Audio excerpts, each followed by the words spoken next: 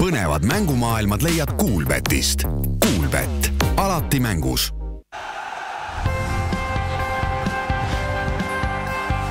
Eesti koondise peatoetaja on LHV Pank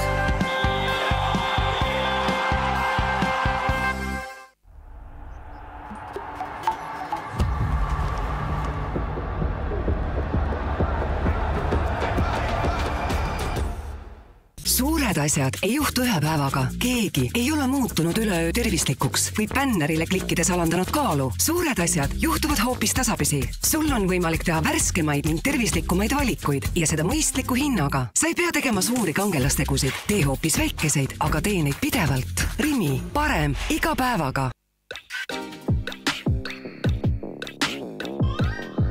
põnevad mängumaailmad leiad Kuulbetist. Kuulbett, alati mängus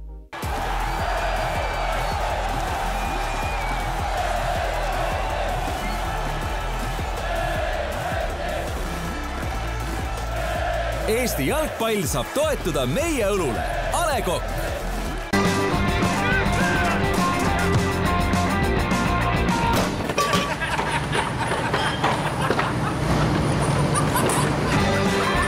tõmbame mängu käima. rendiseadmed Pramirendist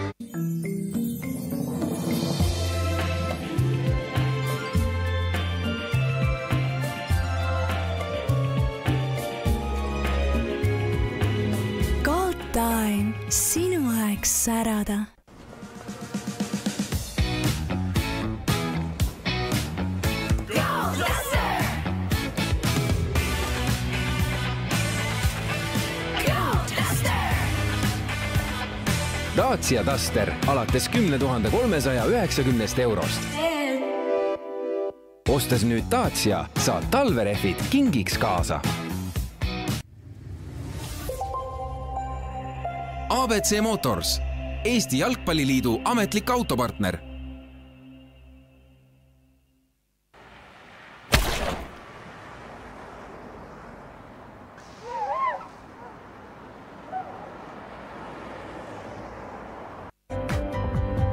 meiega koos alati nähtav. vaata lisaks linnaekraanid.ee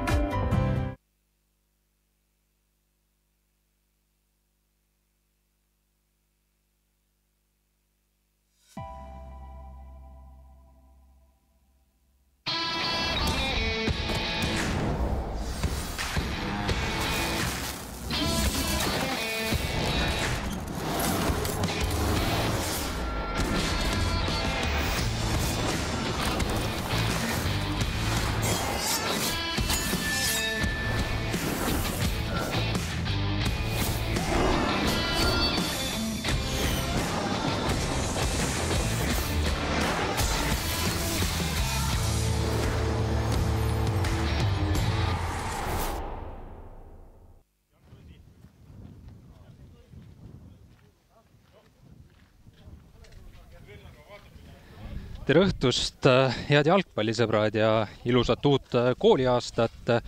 oleme otsepildis Kuressaare linnastaadionilt, kus EFC Kuressaare võõrustab premium-liiga kahekümne kuuenda vooru mängus Tartu JK Tammekat. Kuressaare koduvõistkond asub tihedas tabelis hetkel kaheksandal kohal aga kui täna, täna õnnestub Tammekast jagu saada, siis, siis tõustakse kolme koha võrra kõrgemale ehk et siis viiendaks. samal ajal Tammeka on, on tabelis üheksandal kohal ja neil hetkel pole võimalust kõrgemale tõusta. küll on võimalus selja taga oleva Harju laagriga vahet suurendada ja siis võidu korral ka Kuressaarele lähemale tulla. aga nagu siin näete, siis Mattias Mennilaanel oma hea sõber teda väljakule saatmas, aga, aga siin on, on eile kooliaastat alustanud esimese klassi õpilased, kes siis, kes siis käivad ka FC Kuressaare jalgpallitreeningutel ehk et sellisel pidulikul päeval Kuressaare saab seda kohtumist pidada. kooliaasta algas küll eile, aga, aga kuna Kuressaare mäng siia laupäeva on pandud, siis, siis pidulik sündmus täna ja, ja kindlasti nendele noortele õpilastele ja, ja, ja tulevastele jalgpalluritele meeldejääv hetke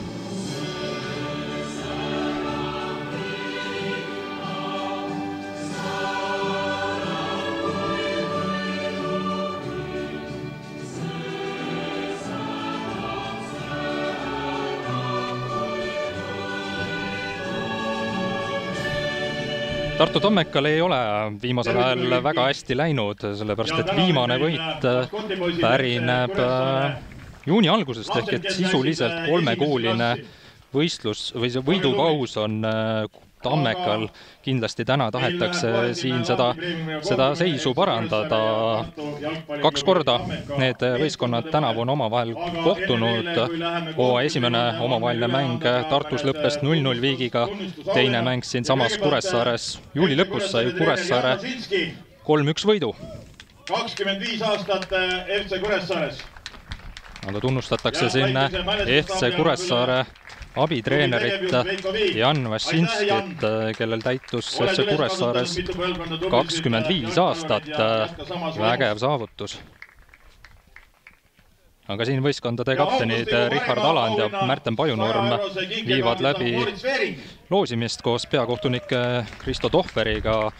Tohverit täna äärtel abistavad Silver Kõiv ja Karolin Kaivo ja neljas kohtunik Tanel Üprus ning siin äh, videokohtunikud äh, Grigori Ozomkov ja tema abiline Jaan Roose teevad oma tööd äh, Tallinnas. aga Sportland tunnustas ka Kuressaare eelmise kuu parimat mängijat Moritz Veeringat, Veeringut ja, ja temal siis oli korralik, korralik kuu alla aga siin ekraani peal ju ka võistkondade koosseisud ja staadioni teadvustaja loeb neid ka juba ette, aga, aga jõuame meie vast nendeni siis, kui avavile on kõlanud, sellepärast et natukene tuleb sotti saada, kuidas siin meeskonnad väljakul asetsema hakkavad. nagu juba siin listides näete, siis siis äh, no võib öelda, et sisuliselt mõlemal võistkonnal on äh, sellist äh, neli keskkaitset väljakul, eks siin kuidagi tuleb olukorraga hakkama saada, näiteks et Kuressaarel on punase kaardi tõttu ei saa aidata. Pavel Tõõmov ja mängukeeldu kannab ka Artjom Jermatšenko, et, et Kuressaarel kaks põhimeest, kaks põhimeest keskväljalt on, on täna väljas ja ja tegelikult neid keskvälja mängijaid Kuressaarel väga palju võtta ei olegi. natukene on ka siin olnud Roman Kožuhovskil äh, nuputamist, kuidas, kuidas mehed väljakule panna. Roman Kožuhovski tänase mängu kohtunik on Kristo Tohver, abikohtunikud on Silver Kõiv ja Karolin Kaivoja, neljas kohtunik on äh, Tanel Üprus. ja tänase kohtumise toetaja on meil äh, Asa spa hotell. kohtumise lõpus loosime kõigi piletiostjate vahele tere pääsme tundub, et kõik on mänguks valmis ja, ja saame kohe sellega alustada. Tammeka siis äh, palli mängu panemas. Äh, nende ründaja Ahmed Adebayo Basser, kes siis suvises üleminekuaknas äh, klubiga liitus ja, ja on päris teravalt alustanud.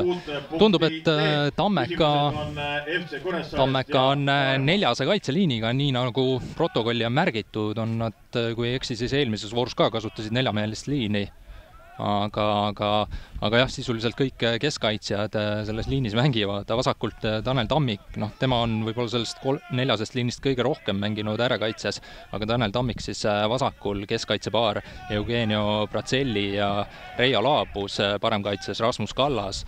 Keskväljal Herman Pedvanson ja Giacomo Uceri, vasakul äärel Artur Uljanov, paremal äärel Patrik Enro Veelmaa ning äh, kaks ründajat, äh, Ahmed Adebayo Passer ja Kevin Mätas, Mätas siis tõenäoliselt natuke toetavamas rollis. siin juba võitlus äh, keskväljal, pall jääb Tammekale, Veelmaa saab sellega edasi liikuda, Uljanov vasakule äärel on ruumiga sööta, sinna läheb sööt, aga nüüd Tammiku tsenderdus ebaõnnestus. aga Kuressaare, nende koosseis, vaatame, kuidas on, Magnus Karofeld neil ikka väravas. kolmemeelne kaitseliin, Märten Pajunurm, Moritz Veering ja, ja kolmas siis Markus Allaste.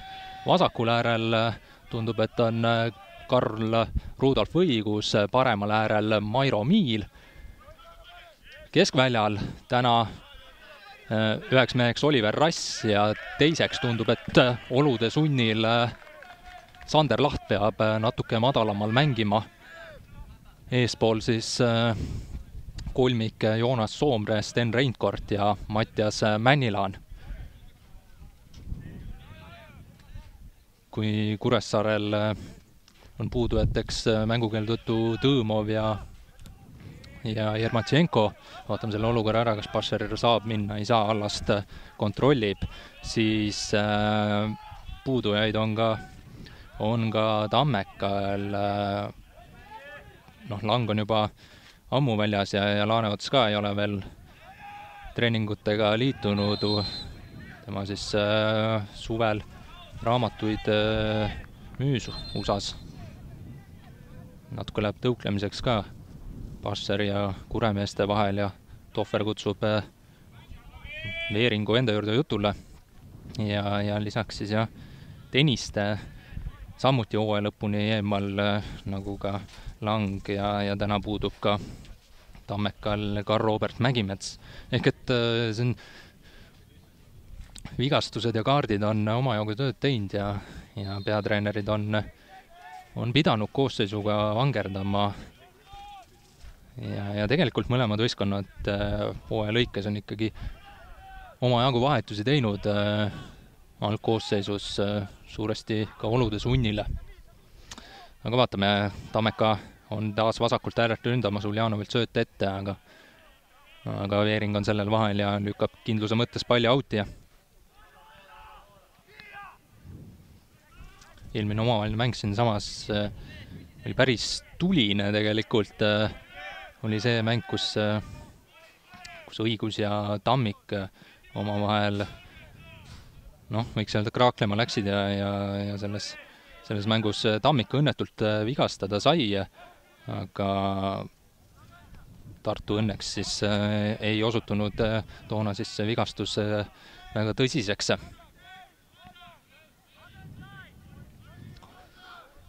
palliga mäng oodatult äh, mängu alguses vähemalt äh, Tammeka käes, on ju Kuressaare kõige vähem palli valdav võistkond Premium-liigas, Veelmaalt senderdus karistusalasse, Passer seal võitleb. nüüd on pall lahtine, sätib ennast Uljanov sealt ka löögile.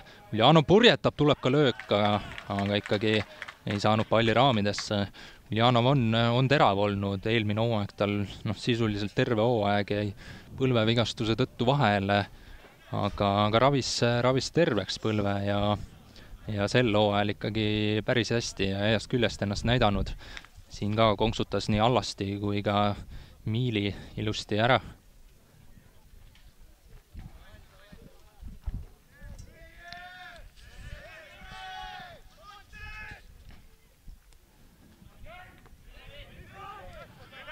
Karoffeldilt pikk pall ette, aga Passer, Passer oli ka päris madalale tulnud äh, seda palli võitma. Mätas. Kallas. Kallaselt äh, pikk pall äh, taas Veelma suunas, Veelmat on siin mängu alguses seda paremat äärt otsitud ka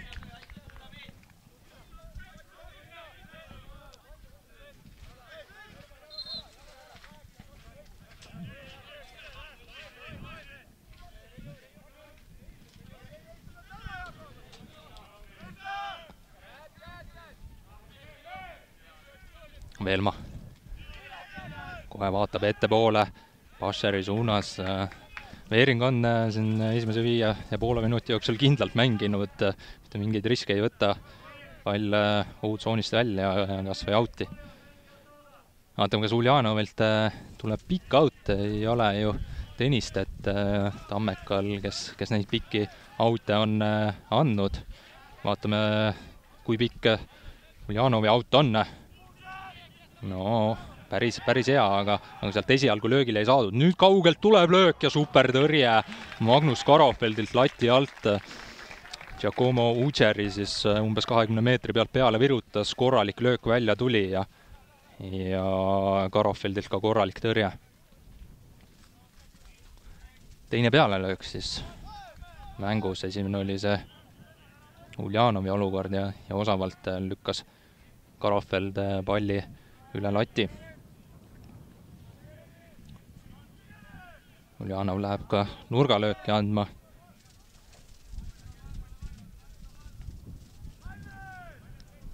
Peaaegu kõik mängijad on äh, Kuressaare karistusalas, tuleb, äh, tuleb äh, päris hea senderdus ka, saab Allast pea vahele.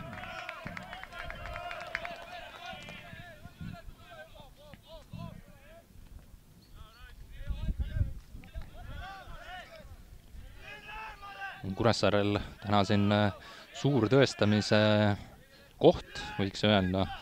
eelmine mäng käidi Kadriorus, seal no ei olnud sisuliselt variantigi Kalju vastu, kuigi asuti kohtumist juhtima üks-null, aga lõpuks sealt päris kindel üks-neli kaotus tuli ja, ja Tõõmovil seal ka keesid emotsioonid üle.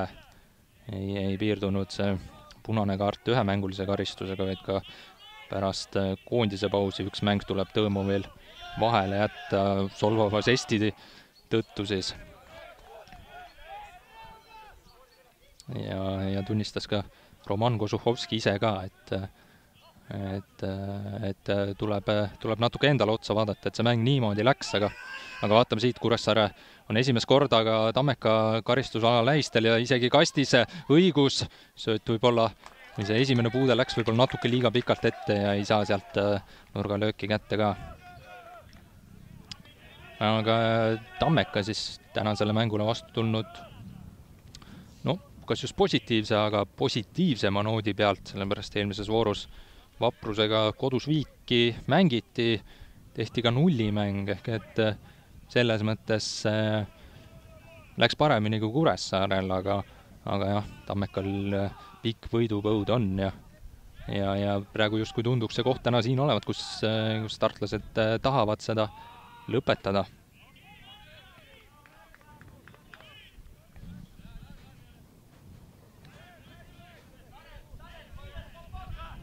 viike on, on, on Tammeka saanud pärast seda, kui juuni alguses Harjust jagu saadi ja selliseid äh, päris väärtuslikke viike tugevate vastu.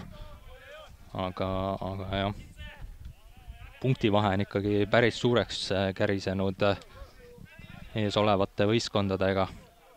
aga no siin pärast seda mängu igal võistkonnal kümme kümme vooru veel minna ja, ja teoreetiliselt laual ju kolmkümmend punkti. taas Veering kindla peale, pall, pall külje out'i. nüüd pani kiiresti selle Veelmaa mängu, nüüd on kaks palli väljakule.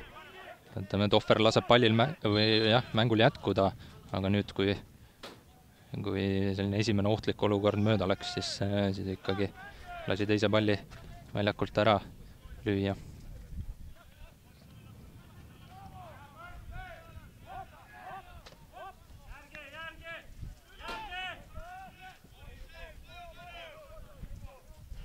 Neljakesi läheb äh, survet tegema Kuressaare ja Soomre, Soomre läks äh, vastu võib-olla natuke liiga jõuliselt, Bedmansonil ka näos grimassid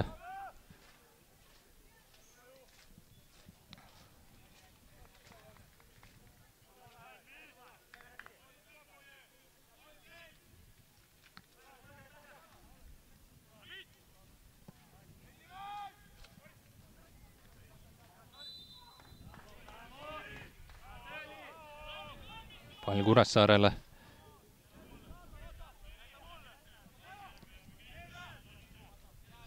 jäin siin vaatama Kuressaare asetust äh, ja, ja Rass on äh, sisuliselt üksinda selle kolmemeelse keskkaitseliini peal ja, ja, ja Soomre ja Laht kõrgemal siin, Pajunurm läheb ikkagi veahinnaga sinna olukorda aga jah, see Kuressaare asetus tundus justkui nagu tuleb siit ka Pajunurmele kollane kaart kaheteistkümnendal minutil selle keskväljal tehtud vea eest.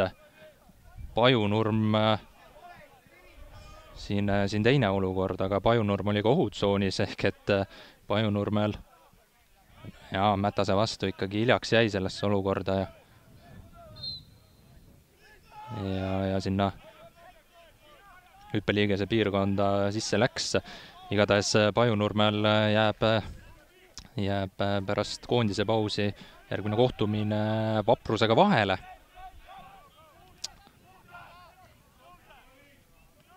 lisaks Tõõmovil ja siis ka Pajunurm sellest mängust väljas.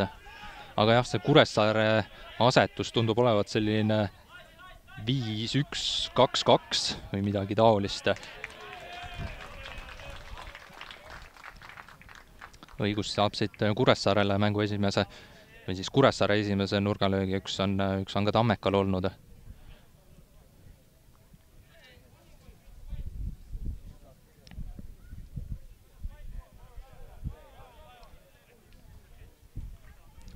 Kuressaare standardolukordade spetsialist on äh, Sander Laht. sisse kerib pall, äh, tuleb, tuleb äh, viie kasti joonele ja sealt kõik kolm keskkaitsjat äh, sinna olukorda hüppasid ja keegi sealt ka löögile pääses, aga aga ei suutnud palli raamide vahele suunata.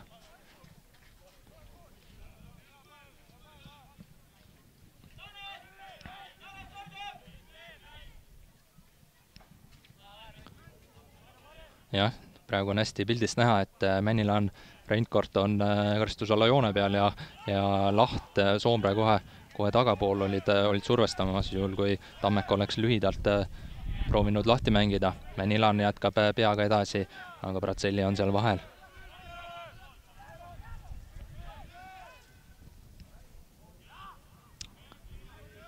Rein Kort. Rein Kort oli siis äh, see mees, kes eelmises voorus Kuressaare ainsa värava Kalju vastu lõi. Mätas Kallas. Mätaselt vale sööt, aga, aga kingib äh, Laht kohe palli tagasi Tammekale. Pedmanson.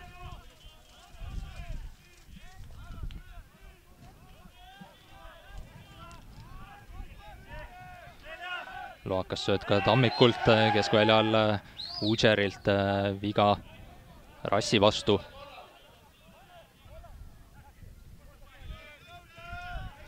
Pajunurm on ruumi ise tõusta palliga. Läheb, kas ise tõesti proovis sealt äh, löögile minna, aga, aga plokk oli ees, jääb pall ikkagi Kuressaarele. Miil senderdab, sealt tuleb ka löök ja tuleb esimene Kuressaarele. Viieteistkümnendal minutil Sten Reinkord viib Kuressaare üks-null juhtima. ja siit ka huvitav värava tähistus rahva sekka, aga aga no ei olnud äh, Kuressaarel palju vaja, üks nurgalöök, sealt saadi löögile ja nüüd üks äh, tsenderdus ja, ja Reinkord lükkas peaga võrku.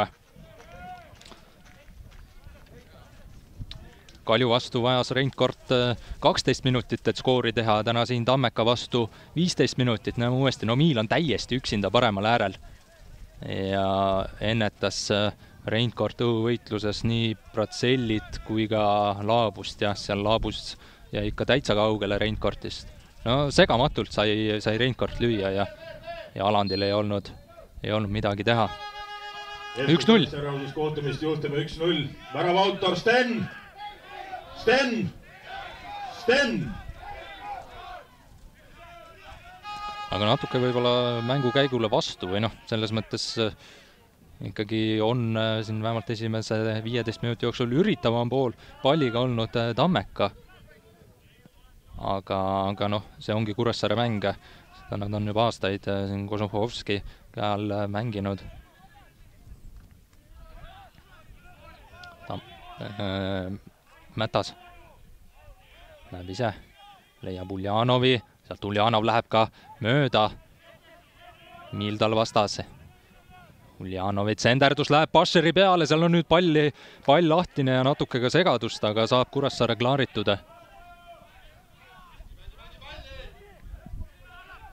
nüüd tuleb kaugelt Uljanovilt löök, ei olnud paha löök. niisugune meetri, meeter-poolteist posti kõrvalt mööda. Uljanov siis äh, kandideerib oma tabu, tabamusega augustikuu ilusama värava tiitlile. kui ta karistuslöögist äh, lõi Paide vastu ristnurka palli. selles olukorras tundus, et Karofeld ikkagi lõpus kontrollis ka seda asja ja, ja sai, sai täpselt aru, kus see väravapost on ja et pall läheb mööda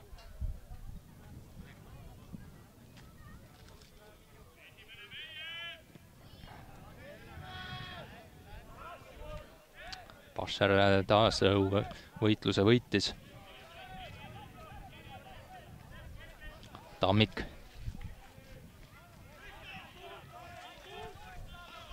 Pratselli. laabus, laabus ka Tammekal selline universaal, peamiselt ikkagi keskpoolkaitse, aga ka siin olude sunnil ka tipuründes mänginud ja, ja hetkel ka keskkaitses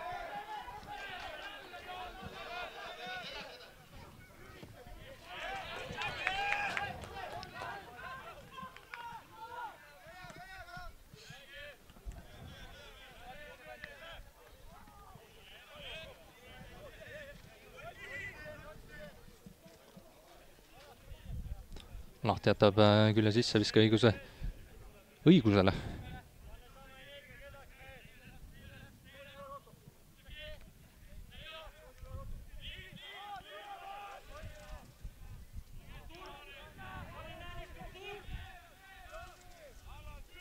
nelja mehega jah, Kuressaare pressib kõrgelt. praegu Pedmanson hästi tuli Tammeka Edvansoni juhtimisel sellest olukorrast välja ja kohe ka ettepoole sööt Basherile. Basher konksutab.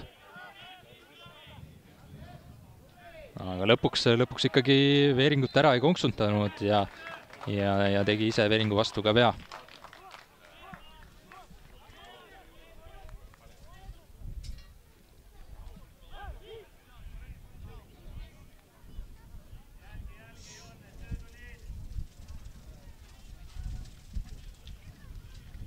Kuressaarel on tegelikult äh, ebameeldiv vastane Tammekal olnud.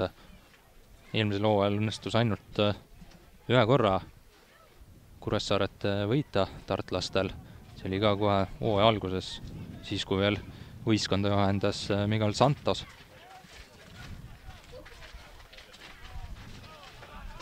eelmisel hooajal ülejäänud kolm mängu, kolmest kaks jäid viiki ja ühe võitis Kuressaare ehk et siis jah, Kuressaare ka väga ei võida selles mõttes, et tänavu üks võit on, on käes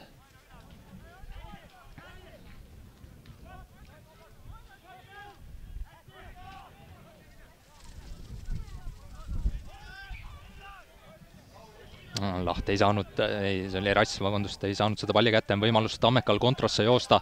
Mätas võtab hoo ülesse, paremal äärel on Veelmaal päris palju ruumi, Veelmaa lööb, aga sealt tuleb ka Pajunurmelt hea blokeering ja, ja otsustav blokeering, sest tundus küll, et see, see löök ilmselt oleks raamidesse läinud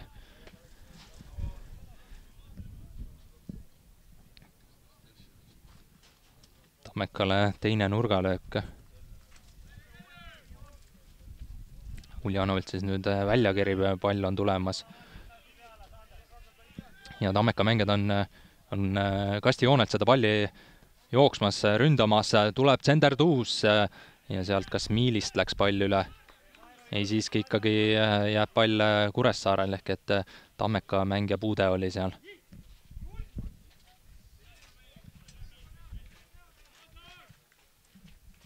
siin näete Kuressaare vahetusmeeste pinki pigem on mõtlikud näod.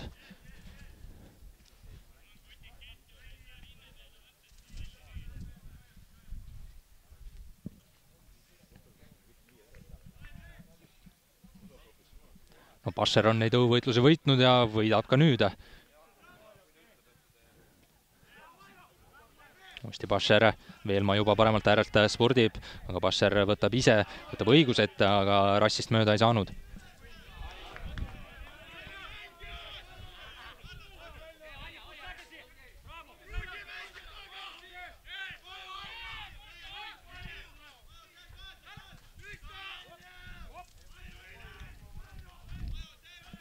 Edmanson.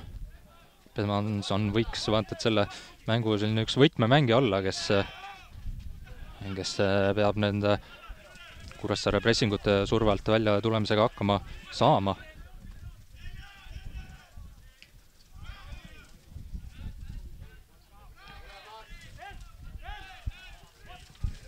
laabus, lükkab tagasi Alandile mängu jooksul on, on natuke ka tuul tõusnud.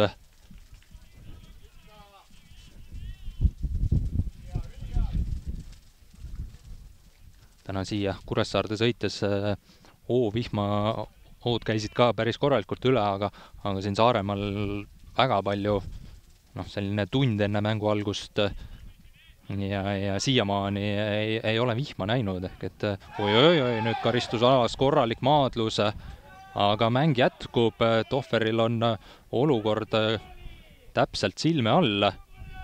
Ja, ja Tohver selles olukorras midagi määruste vastast ei näinud.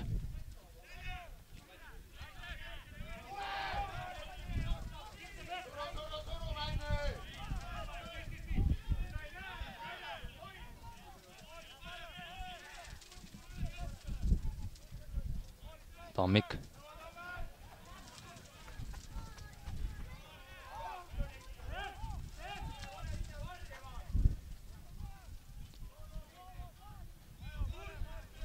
Kuressaare fännid saadavad juba Tohverite varri ekraani juurde, aga aga ootaks ka huviga kordust, mis seal Tammeka kastis täpsemalt toimus, aga aga tundus küll, et Tohver nägi seda olukorda väga hästi siin, Pašer proovimas taas äh, oma driblinguga mängijatest mööda saada, aga Pajunurmel oli jalg vahel. vaatame nüüd seda olukorda kordusest, mis seal täpsemalt toimus. Jah, Uljanov ja Allast, äh, no ütleks, et äh, et ikka selline mees-mehe vastu võitlus. tundunud küll seal midagi sellist olevat, et et, et siin emmale-kummale viga vilistada, mõlemad natuke kätega blokeerisid, aga, aga ei midagi hullu.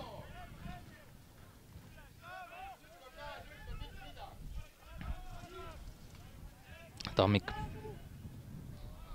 laseb siin natuke praaki sisse ja kingib palli Kuressaarele. Miil, üks resultatiivne sööt täna kirjas. on Miil ka selles mõttes vajalik mängija Kuressaarele viimastel aastatel olnud äh, kaitseliinis äh, sisuliselt igat positsiooni võib mängida. Soomre teeb äh,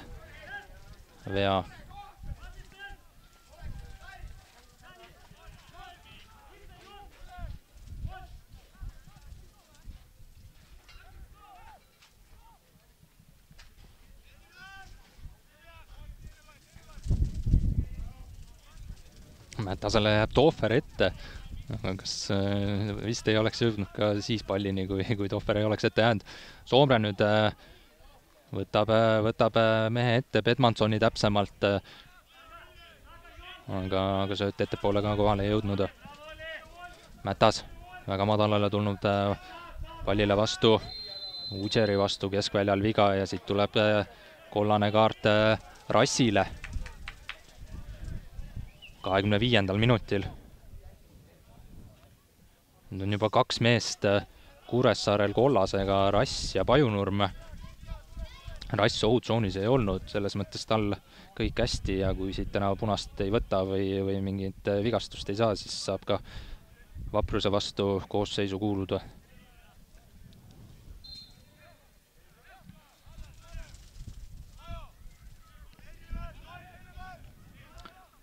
Passer taas, äh, Passer on võimas kuju Tammekal saab neid palle hästi kätte ja, ja suudab katta, suudab säilitada ja edasi jätkata.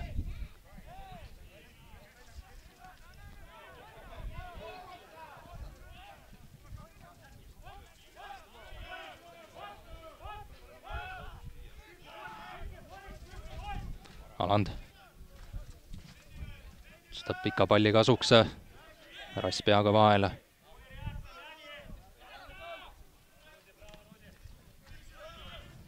Passer, Pajunurm ajab teda taga.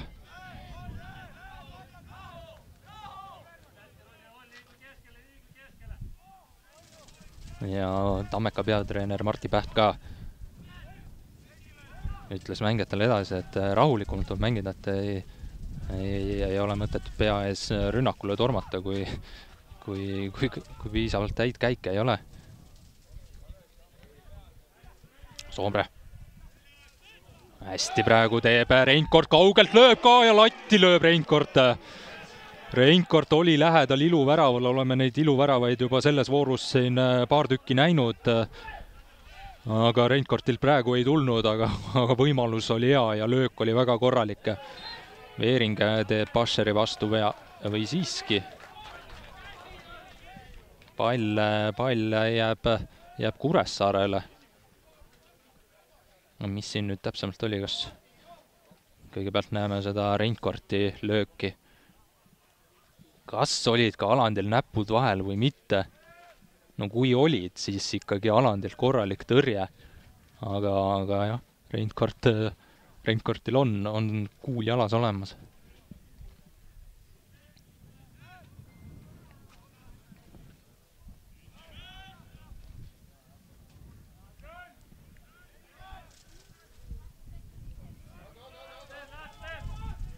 Tammik suutis palli väljakul hoida ja leidis ka Mätase. Mätas vaatab, vaatab ettepoole, aga annab siis vale söödu täpselt õiguse jala peale. õigus läheb keskele, leiab Reinkorti, Reinkord proovib uuesti, aga seekord läks löök üle, üle värava. aga teenib publikult aplausi ja ja Reinkord kindlasti on värava näljas, kuigi kuigi jah, nüüd äh, täna on juba kirjas ja, ja eelmises äh, mängus sai värava kirja, aga aga Floras hooaja äh, esimeses pooles neid väga palju ei tulnud. nüüd siis Kuressaares sel hooajal kaks kirjas, kokku siis Reinkortil Kuressaare eest kaks jah, kohe alguses ta skoori ei teinud. Uljanov. Uljanovil on ka kauglöök olemas, lööb ka, aga lööb palli vastu rassi Veelma, Veelma võib ka lüüa, Veelma, Veelma proovib siit läbi murda. ja ja pall, pall siis äh, Kuressaarele. Veelmal läks äh, säärekaitse ka paigast ära. vastu kätt käis isegi kaks või kolm korda Veelmale pall hoidis, hoidis ka palli kinni ja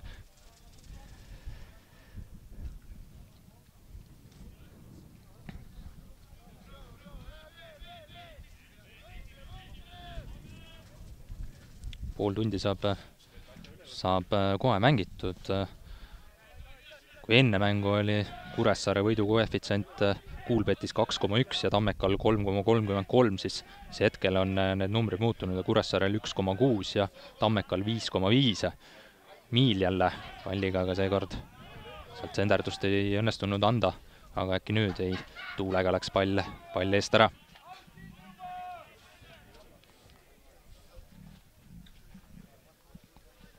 Tammeka pingil tundub, et siin oli mingisugune hea nali, keegi rääkis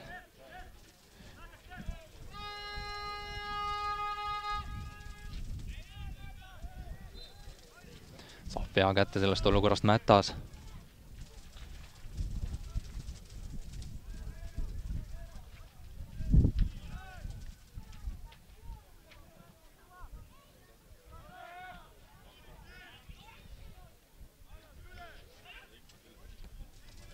ohtlikult mängis Bratselli, aga, aga sai ikkagi pika palli ette antud.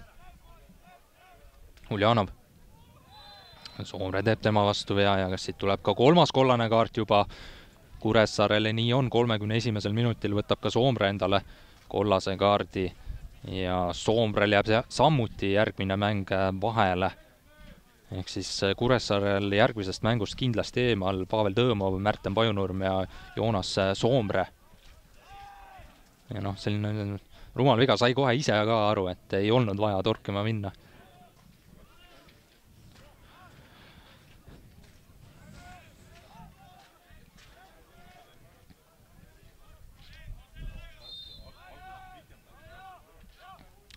Janovilt pall kasti, aga seal allast kõige kõrgemal ja lööb palli peaga kastist välja. jätkub Tammeka rünnak, Bedmanson, Tammik, Sender Tuus äh, ja Soomre saab see sinna pea vahele. Basher, jätab laabusele palli. uuesti Basher. aga Rass, Rass pani päris korralikult keha talle ja, ja sai palli kätte, nüüd on võimalus kontrasse minna. Aga Soomre sööt ettepoole oli, oli ebatäpne. õigust ka sinna riske ei võtnud, Basher oli vastas, ei, ei, ei riskeerinud temast mööda mängimisega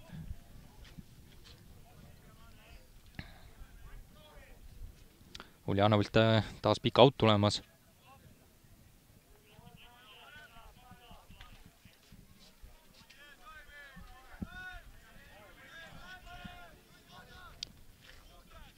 Tuleb äh, Laabuse peale, Laabus jätkab.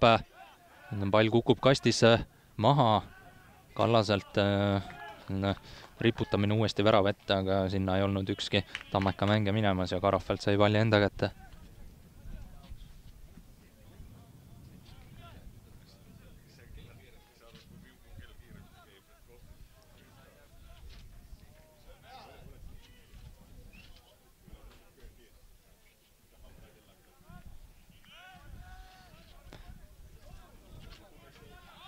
Mätas.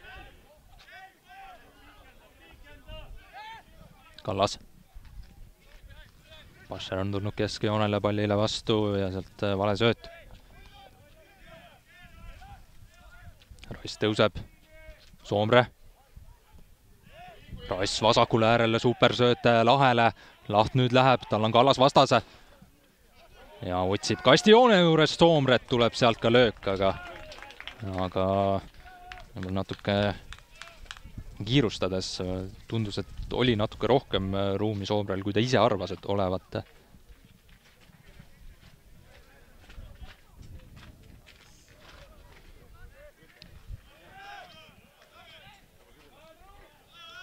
Kallase.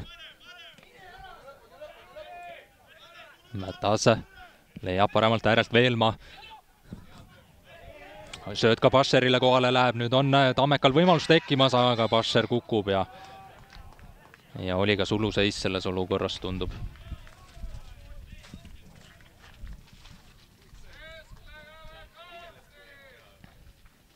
kas siin äh, Tohver räägib räägib siin äh, sõnad peale, et äh,, et nii kergelt ei maksa kukkuda, et ta näeb kõik ära ja ja, ja sukeldumise eest võib siit ka kollane tulla, aga aga tundus, et äh, Basser seal lihtsalt kuidagi astus halvasti või, või komistas.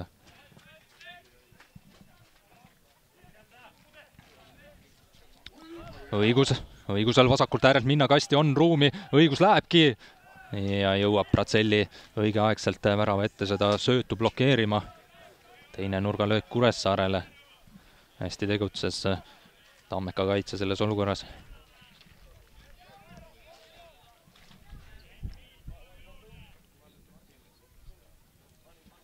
jah, siin äh, läks pall tegelikult vastu kätt, aga, aga ilusti keha küljes see käsi oli ja ja, ja sellistest, selliste asjade eest juba ammu enam jalgpallis penalteid ei anta. Laht, palli taga. Kuressaare nurgalöök tuleb taas sinna viie kasti joone peale. kas Pajunurm ka sinna pikali maha jäänud? hoiab otsa esisest kinni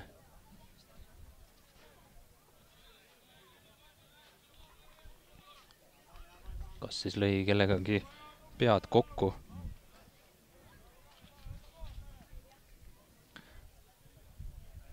aga ei tee Pajunurm väga mingit teist nägu ja, ja jookseb kaitsesse tagasi.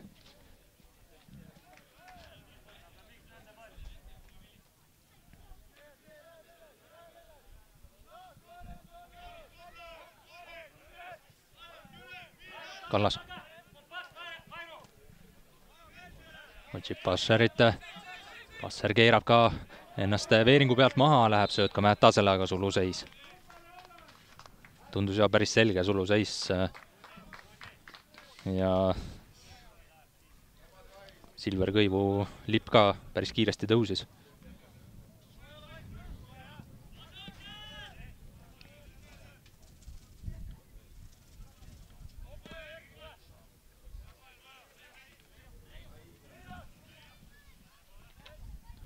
Laabus kogenud mängijana katab selle palli ära ja laseb üle otsa, otsajoone minna.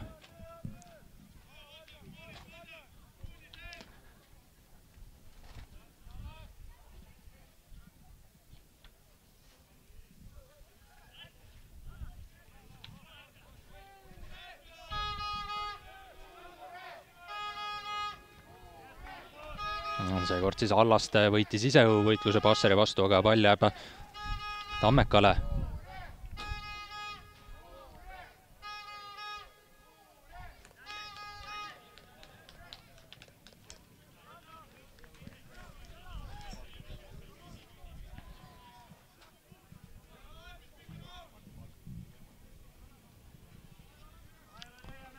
Uljanov pika out'i viskamas no eelmine pikk out oli päris lubav, kui Laabus sai jätkata, seekord on Passer seal esimese, esimesena mehena. ja Passer siin kas küsib tõesti käega mängu või nurgalööki, nurgalöögi igatahes Tammeka saab. aga Passeril olid kohe käed püsti pärast seda olukorda. nüüd on äh, natuke vast vaata et muutnud Tammeka oma taktikat, siin päris korralik meestesumb on seal värava ees neli Tammeka mängijat ja, ja kollasärgid ka seal ümber. tsenderdus on aga halb ja Soomre saab palli kastist välja. Veelma, Veelmal on löök ja Veelma lööb ka, aga, aga üle värava.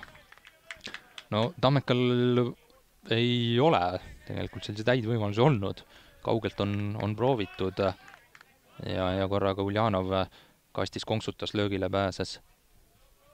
ja selles mõttes üpris võimaluste vaene mäng on olnud, ega ega ei ole ka Kuressaarel olnud eh, noh, värav, Reinkord, Reinkordi kauglöök latti ja, ja siis ka eh, kas oli see esimene nurgalöök, kui, kui keegi Kure kaitsjatest löögile pääses, aga aga, aga selliseid jah, häid võimalusi otseselt pole olnud peale Reinkordi värava. Kallas. Pajunurm peaga vahel uuesti Pajunurme. nüüd lahtise palli korjas Pedmanson. Bascheri kaudu vasakule äärele Uljanovile. aga Tammik, Tammik küll tuli rünnakule kaasa, aga aga sealt kuhugi minna ei olnud ja palli ka kätte ei saanud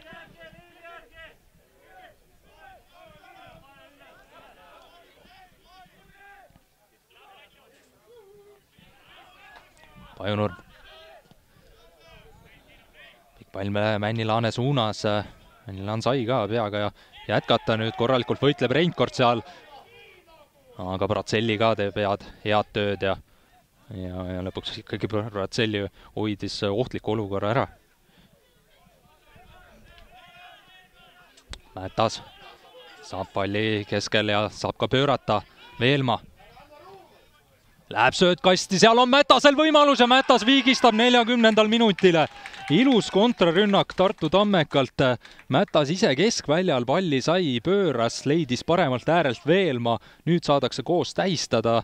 Veelma, Veelma selle väravasöödu Mätasele kasti andis ja, ja, ja no see ehtründajalikult Mätas lahendas selle, selle olukorra ära ja Mätasele siis hooaja seitsmes värav premium-liigas just sai räägitud, et ei ole selliseid väga häid võimalusi olnud ja kohe Tammeka ühe võimaluse tekitas ja, ja sellega ära lahendas.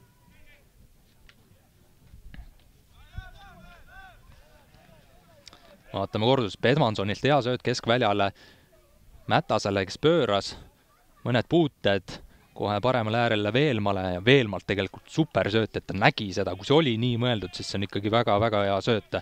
tundus küll, et oli nii mõeldud, sellepärast et ta korra tõstis enne söötu pea ja ja no päris hea sööt ikkagi sinna Tammekale, Mätasele. värava autor Kevin Mätas. tõesti hea sööt Kuressaare kaitsjate vahele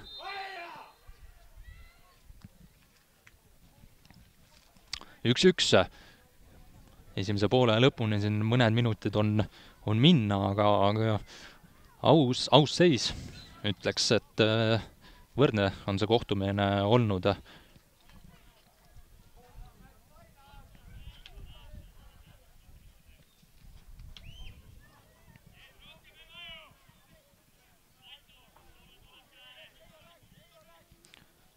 Siin Kuressaare mingisugust standardolukorda nuputamas, pall on enda väljaku poolel, aga see Miili, jah, võib-olla oligi nii mõeldud, igatahes Reinkord selle palli kätte sai, uuesti Miilile paremale äärele. Miil on ühe väravasöödu andnud, kas siit ta annab ka teise, ei. see tsenderdus blokeeriti ja nüüd on jäänud sinna Uljanov pikali ka. Uljanov, kes selle tsenderduse blokeeris, sai, sai seda tehes haiget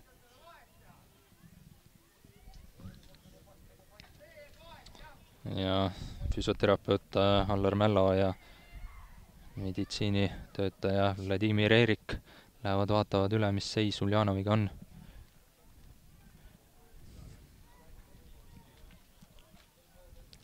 no selline, selline mäng on olnud, et mõlemal justkui otseselt äh, millegi üle muretsemiseks põhjust ei ole, aga aga, aga rünnakul jah mõlemad on küll ühe ära kasutanud, aga, aga sellist turmtuld kummagi poolt pole, pole tulnud, pigem, pigem kaitses enam-vähem okeid, okei asjad olnud mõlemal.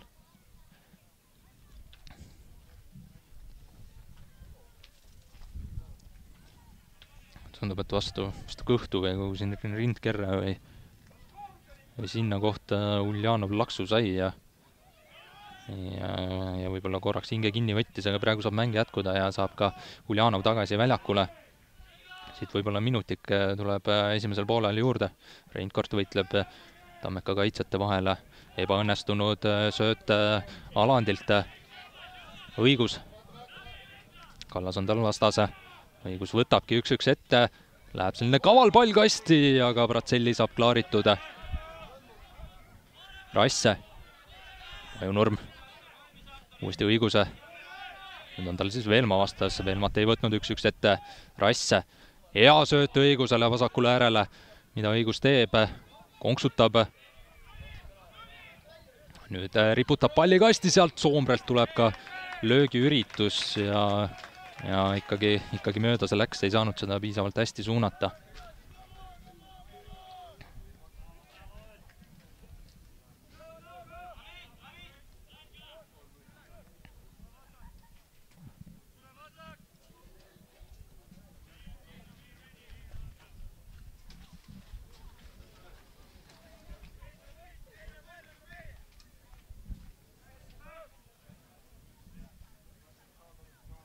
Aland ka kuskil ei kiirusta, siin võtab päris palju sekundeid. ja tõenäoliselt mõlemad võistkonnad on rahul, et see seis üks-üks on ja, ja, ja riietusruumis, kui vaja, siis mingeid asju korrigeerida.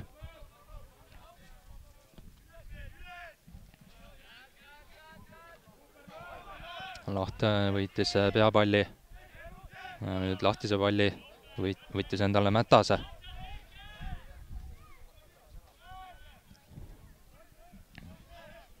üks minut esimesele poolajale juurde lisati. poolajale väheneb minuti. ja tuletame meelde, et vaheaja mänguks on meil täna Kahut, nii et kes soovib, saab osa võtta ja auhinnaks on. siit esimese poole lõppu tuleb veel emale-kummale mingisugune hea võimalus või mitte. Udžeri keskväljal nüüd Pedmansonil on, on päris okeilt ruumi ja Tammike, oi kui hea konks, nüüd vasakule äärele ka Uljanovil sealt samamoodi konks pall kasti Basseri suunas, aga, aga lendas, lendas üle Basseri pea. nüüd tõenäoliselt äh, Karofel võtab siit vähemalt kakskümmend sekundit ja, ja ongi esimene poolaeg äh, lõppenud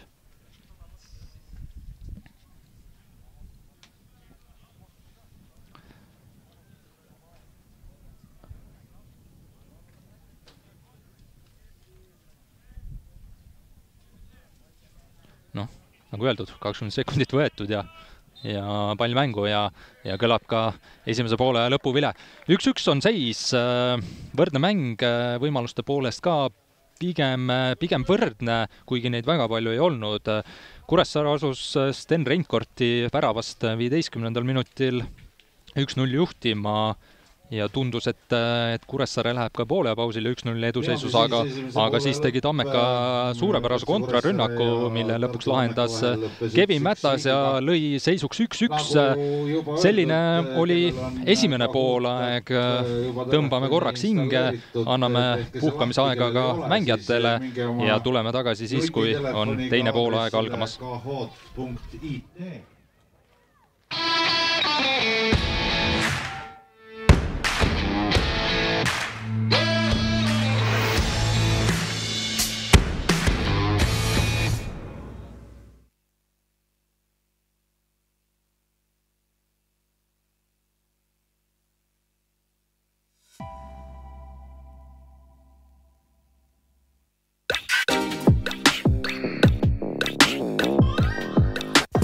Mängumaailmad leiad Kuulbetist. Kuulbett, alati mängus. Ramirent esitleb Premium-liiga Kuu ilusaim värav. mäng jätkub juba. Viidas tuleb keskele, proovib lüüa ka, lööb ja Stenjakov Viidas, Stenjakov Viidas tahab seda augustikuu kuu parimat väravat endale. korralikult keerutab posti kõrval ära, Forsman ei saa endiselt aru, mis juhtus istub maas, nokamüts ninani ja lööb Viidas ära. päris korralik. no muidugi siin värava kontroll jälle, aga. Levadiale, Tomba, kõik jõud, Levadia jõud on Harju viimasel väljaku kolmandiku peale Valneri põhimõtteliselt. jätkatakse sinna Felipe Felicio peale, Felicio pääseb põmmutama ka, aga Harju blokaad on ees, uuesti löök ja nüüd lööb Levadia ära ühe värava ei suuda Harju ikkagi vastu pidada ning saab Levadia viigivärava kätte. paistab, et Mark-Oliver Roosnup on selle autoriks täpselt seitsmendal üleminutil. ja ai-ai, kui valus see Harju Etka laagril hetkel on. Roosnup suudab selle ühe puutega peale panna ning nüüd Harju treenerite pink on samuti täies mahus püsti ja ergutab omasid veel vastu pidama. videoruum vaatab seda asja üle, aga ei näe ühtegi põhjust, miks see värav ei peaks ja joone peale Mägimets. Oli tegelikult pealelöögi oht,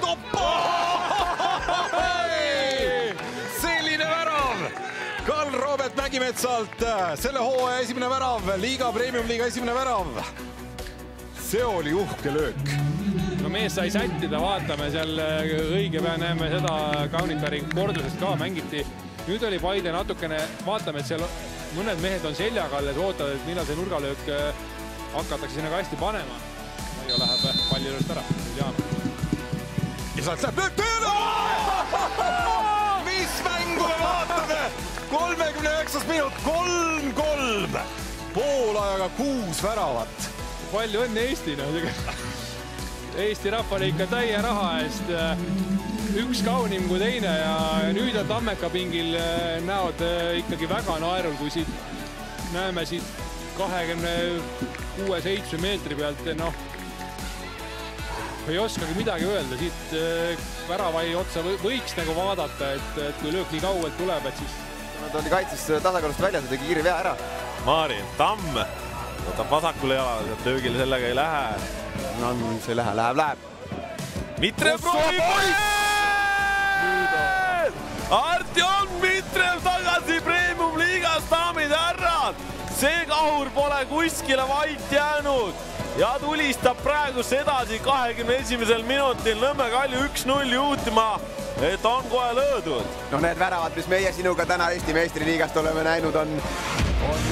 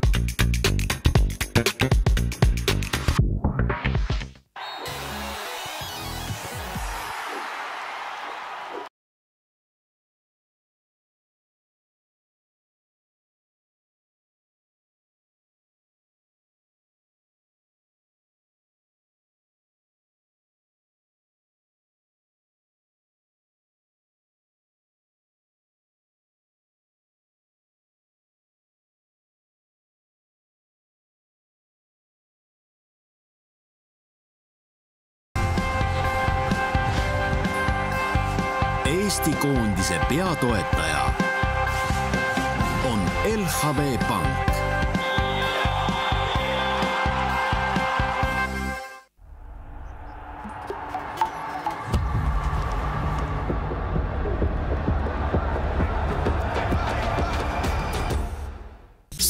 asjad ei juhtu ühe päevaga. keegi ei ole muutunud üleöö tervislikuks või bännerile klikkides alandanud kaalu. suured asjad juhtuvad hoopis tasapisi. sul on võimalik teha värskemaid ning tervislikumaid valikuid ja seda mõistliku hinnaga. sa ei pea tegema suuri kangelastegusid, tee hoopis väikeseid, aga tee neid pidevalt. Rimi, parem iga päevaga. põnevad mängumaailmad leiad Kuulbetist. Kuulbett, alati mängus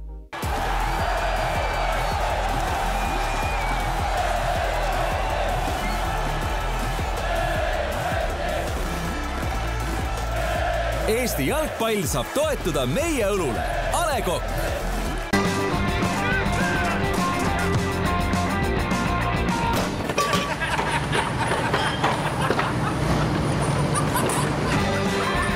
tõmbame mängu käima.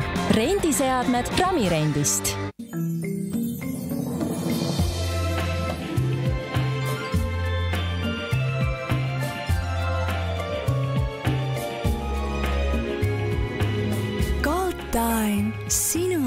särada.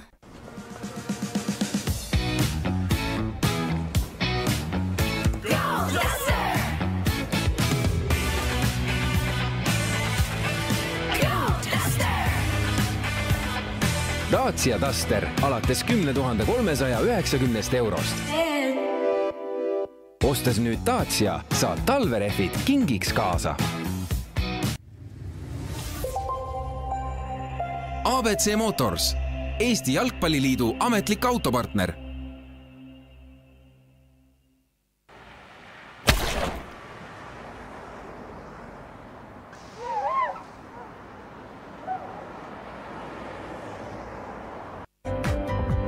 meiega koos alati nähtav. vaata lisaks linnaekraanid.ee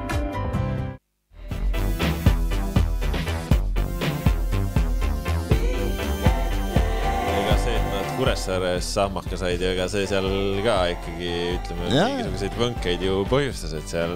seal ikka käidi, kuulge, ma olen olnud seal, seal, seal, seal, mingisuguseid võnkeid. Ei no see oli ju- antud olukorras antud olukorras on meile öeldud ka, et kui niimoodi, noh, kui niimoodi edasi läheb, ütleme, ütleme mängu, mängu, ütleme poole peal on tulnud nagu siukseid noote, et kui niimoodi edasi läheb, siis ei saa, ei saa praamiga tagasi, ei saa praamiga. siis sul on lihtne, sul triatloni mees see ujuks, eks ole, aga Ujuks., aga jah, kõigil ei ole nii. et ei, ei, no et siin selgituseks, et ega seal noh, seal klubis äh, äh, noh, igasugune viik, noh, mingite me-, ükskõik millise meeskonnaga suures pildis on ikkagi korralik nagu noh, torumine, noh, nagu sa ütlesid, võng, võnge, võnge. ei, selles Aga- ma, selles ma ei kahtle, et seal klubis sees nii on, lihtsalt nagu kõrvalt vaadates. kõrvalt vaadates, aga võta nüüd see Pole aasta, noh, me oleme siin Harju vastu kaotatud punktidest rääkinud, noh, Tallinna Kalevi, kes siin on kõik Tammekad, Kured, noh, ma, ma ei tea, kas noh, jällegi, kas on olnud sellist hooaega, kus Levadia oleks nagu nii paljudele äh, madalama otsa satsidele punkti noh, kaotanud. jah, jällegi noh, madalama satsi, ma ei tea, see aasta on kuidagi imelik nagu öelda midagi no aga noh, saad ikka. jällegi kuidagi läbi ajaloo seal tabeli teises pooles või, keskmike hulgas olevate meeskondade vastu. ja endiselt on nad tiitlikonkurentsis rahulikult. on küll, aga no ma mõtlesin, ongi nende võngetega seoses, et seal ju noh, kuuldavasti ju oli ikkagi paksu pahandust see põhjustanud, et, et mingid vennad olid sotsiaalmeedias natuke liiga lõbusad olnud pärast seda, seda juba nädala tagust äh, äh, noh, siis punkti kaotust, et seal üks oli vist mingil platvormil natuke, üks välismängija natuke liiga lõbusa tantsu teinud ja siis, siis juba sealt vist pandi korraks duublisse treenima ka. noh. sa tead midagi või? mina ei tea midagi. no räägi, no selles mõttes, et kui sa noh, räägi nimedest. konkreetselt, kes pani video, kes saadeti, siis mina ei tea seda. ei tea jah? ei tea jah. Ei no jutud on, jutud on. ei, ma jälgin neid äh, seal Instagramis ja Facebookis, keda, noh, neid. no üks, üks teine platvorm oli, oli antud juhul. ahaa, no neid ma ei jälgi ka. vaat see on ka see, ma ei ole ka kõva Tiktoki Need, vaataja. need moodsad, moodsad, moodsad, moodsad. jaa, aa, ühesõnaga ta pani, eelmine nädal nad mängisid äh,, said kotti jah? kaot-, said kotti. et Kure käest pähe, jah. kaotasid Kuressaarele ja siis peale seda mängu pani keegi video sotsiaalmeediasse ja sai pahandada selle eest, aga saadeti duublisse lausa. liiga lõbus video. no vist tantsule on natuke, jah. no ütleme, mina Ei, no- saan väga hästi aru, miks. ei, ma saan- ei, isegi me ei, ei ei- pea siin rääkima nagu sellest umbes, et Levadias ollakse karmid, vaid mine proovi kuskil välismaal teha Ja, sellist pulli ja vaata, mis sinuga siis tehakse. Ei, no just- hea, kui duublisse saadetakse, isegi hästi läinud. noh, see on jah, see tänapäev, see on nagu, ma ei saa ka sellest, noh, ma ei saa aru, noh, ma ei peagi sellest aru saama. aga jah, see, see, see, ma olen seda ise ka täheldanud nagu isegi oma mängija, kui ma mängisin, siis noh, noh, mõtled, vaatad seal, teed oma selle sotsiaalmeedia lahti ja noh, ise ei paneks, noh, ma ei tea, noh, esiteks noh, ma ei tea, topid kogu aeg seal. selles mõttes ma, mulle, oleks näiteks üks-kolm kaotad, noh siis ma ei pane, siis ma ei lähe Instagrami, ei pane pilti mm. nagu kuidagi veider on või midagi kaotuse järel nagu rõõmsa näoga pilti, noh, ei, ei ole nagu vist väga kohane. nojah, et, et pane järgmine päev siis, kui et on vaja. selles mõttes, et jah. aga et äh, ei saa nagu midagi klubile ka ette heita sellist, selliste saagi, lükete noh, puhul, et nagu ja ma ütleks, see minu meelest nagu see näitab, et noh, nagu kord on majas, eks ole, et, et kui tiitli peale nagu mängid ja noh, eriti nüüd praegu ollakse siis seisus, kus äh, nüüd on derbi tulemas, eks ole, kui Flora selle võitma peaks, siis nagu siis on, see on viis punkti vahe, noh, okei okay,, see, see ei ole nüüd praeguses hooaja faasis mingisugune katastroof veel, eks ole, aga vaadates, milline hooaeg meil on, siis noh, ja, ja kuidas praegu nagu minnakse, siis võib väga kiiresti käriseda see asi. no minge vaadake, kuidas Roy Keane sellistele asjadele reageerib uh., see, et äh, siis saab nagu pildi ette. ja, ja, et noh, ongi väiksed võnked käivad asja juurde. ei no võnkeid ei noh. eks seal on, ei no eks seal on neid võnkeid see aasta ju olnud ikkagi päris korralikult, ilmselt. et äh, noh, igasuguseid. aga, aga endiselt. tiitlimängus sees jah. Mis sest, et ma ei tea, palju sellele tabeli tagumisele poolele punkte on kaotatud. ilmselt rohkem kokku kui viimase kümne aastaga, ma eeldan.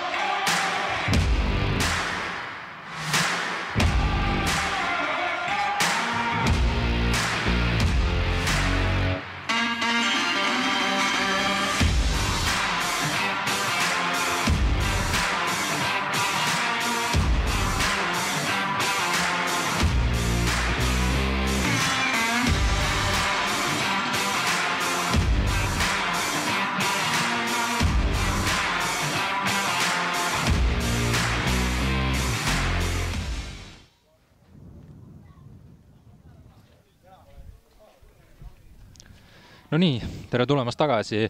oleme otsepildis äh, uuesti Kuressaare linnastaadionil, kus jätkub Premium-liiga kahekümne kuuenda vooru kohtumine Kuressaare ja Tartu Tammeka vahel. esimene poolaeg lõppes äh, üks-üks seisuga, skoori tegid äh, Sten Reinkord ja Kevin Mätas. teiseks pooleks tundub, et äh, oleme siin asjadega valmis. ja, ja kõlab kohe ka Tohveri vile, teine poolaeg algas äh, ja, ja läheme, läheme üks-üks seisu pealt edasi. esimesena tulid riietusruumist välja Tammeka mängijad äh, ja, ja päris selline minut-kaks hiljem jõudsid ka Kuressaare mängijad ehk et äh, Kure treeneritel oli riietusruumis natuke rohkem rääkida kui, kui kui, Tammeka juhendajatel. siit juba teise poole esimene suluseis ka, aga vahetusi ei tehtud vaheajal, vaatame üle ka koosseisud siin Kuressaare Vink, nemad, nemad sooja tegid, aga, aga siin vähemalt teise poole alguses mängu ei tulnud. siin natuke võib-olla jah, oli Männilaan suluseisus. aga Kuressaare koosseis siis selline, et väravas neil Magnus Karofeld, kolmene kaitseliin, Märten Pajunurm, Moritz Veering, Markus Allast, äärtel Karl-Rudolf Õigus ja Mairo Miil kontrolliva poolkaitsja kohal, vaatame selle Uljanovi mineku ära, aga ei tulnud sellest midagi. kontrolliva poolkaitsja kohal Oliver Rass, natuke ründavamas rollis Sander Laht ja, ja Joonas Soomre ning kaks ründajat, Sten Reinkord ja Mattias Männilaane. Tammekal täna väravas Richard Aland, nagu, nagu ikka, põhiväravaht Aland on olnud, kaitseliin neljane vasakult, Tanel Tammik, Eugenio Bracelli, Reio Laabus ja Rasmus Kallas paremkaitses, keskväljal Giacomo Uggeri ja Herman Pedvanson, äärtel vasakul Artur Uljanov, paremal Patrick Enro Veelma ning kaks ründajat Kevin Mätas ja Ahmed Adebayo Basher. Mätas siin on oma kiirust ka näitamas halvasti vastu ja, ja väga kiiresti läheb palliga kasti, sealt jätk ebaõnnestunud, vabandab ka võistkonnakaaslaste ees, et ei olnud kõige parem lahendus. aga, aga see Mätase kiirus Allasti vastu oli, oli päris muljetavaldav. noh, ei ole kiirus ka Allasti trump kunagi olnud, Mätas seevastu ikkagi pigem kiiremapoolsem mängija.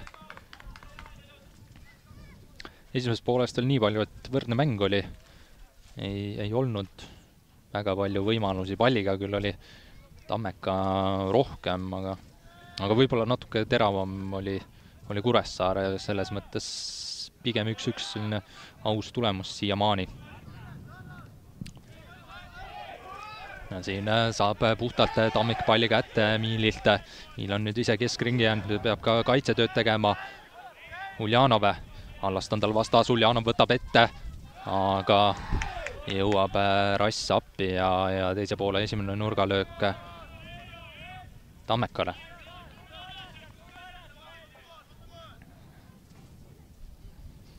Tammeka on teist poolega teravalt alustanud, kaks korda on vasakult äärelt hästi tuldud.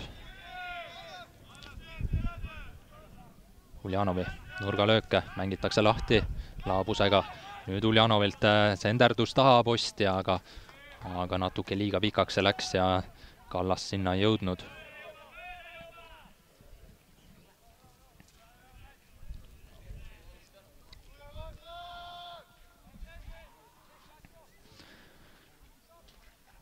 vaatame, mis koefitsiendid Kuulbetis räägivad, selle mängu soosikuks on tõusnud Tartu Tammeka kui enne mängu oli Kuressaare, siis, siis praegu on Kuulbeti arvates mängusoosik Tartu Tammeka, kelle võidukoefitsient kaks koma kaheksa, Kuressaare võidukoefitsient kolm koma null ja Viigi koefitsient praegu kõige tõenäolisem kaks koma kuuskümmend kolm.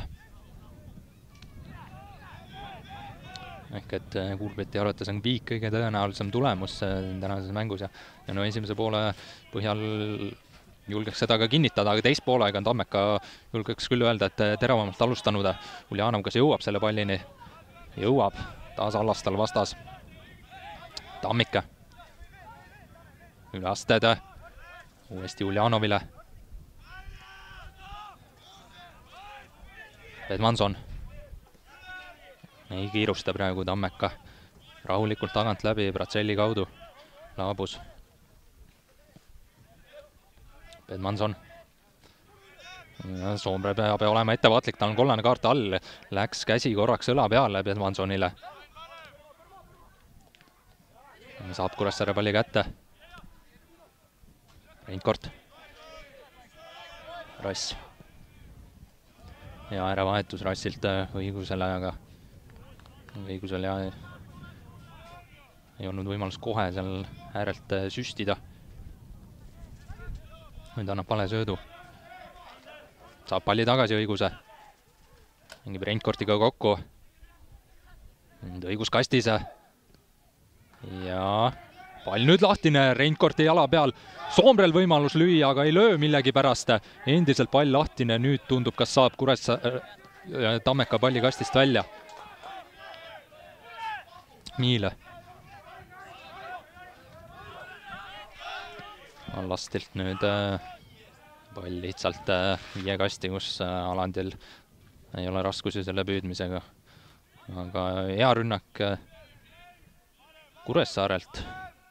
millegipärast jah, Soomre otsustas selles olukorras mitte löögile minna, aga siin Veelmaa purjetab päris hästi ja Veelmaa läheb. senderdus ka Basseri suunas, Basser pääseb löögile, aga ei saanud löögile piisavalt jõudu taha.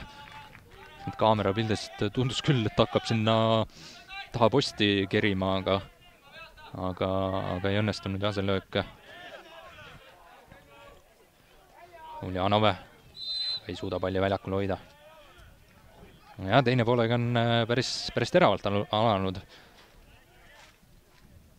esimest vahetust hakkab äh, Kuressaare tegema. Mattias Palts on, äh, on mängu juba siin teise poole alguses tulemas.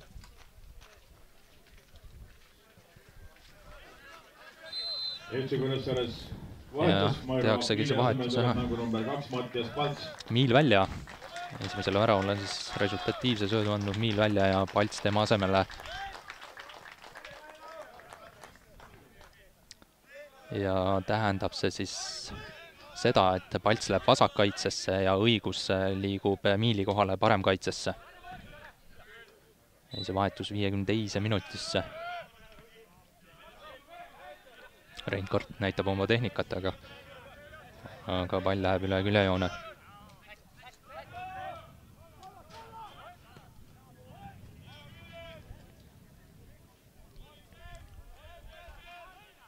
Vilma.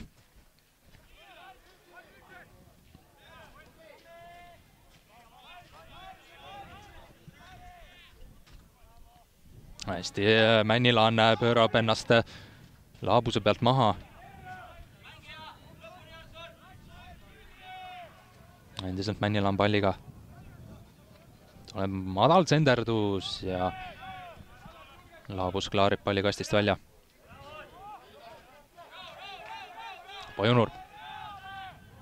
päris kaua lastakse Tammeka mängijatel tal sättida, lõpuks annab söödu vasakule, kus on vahetusest sekkunud Palts, aga Veelmaa võttis tal lihtsalt palli ära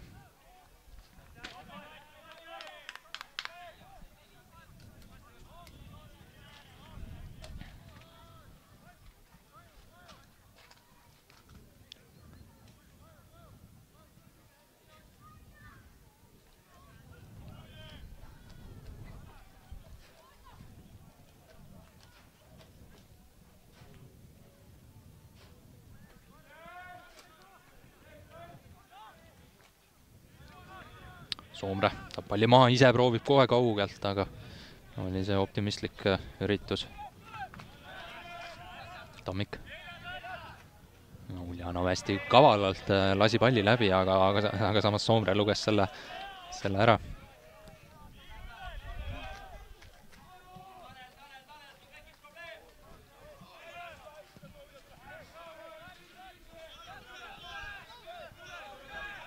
on last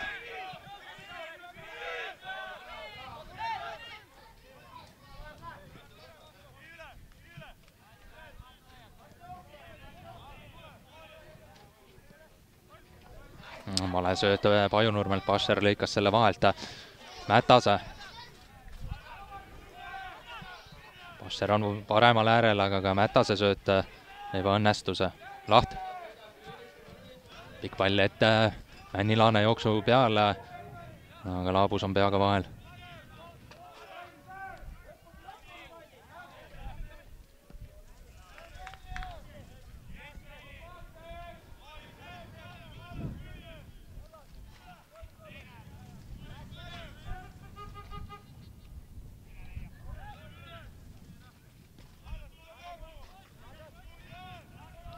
Tammekal sööt liigub, aga liigub, liigub enda väljaku poolel.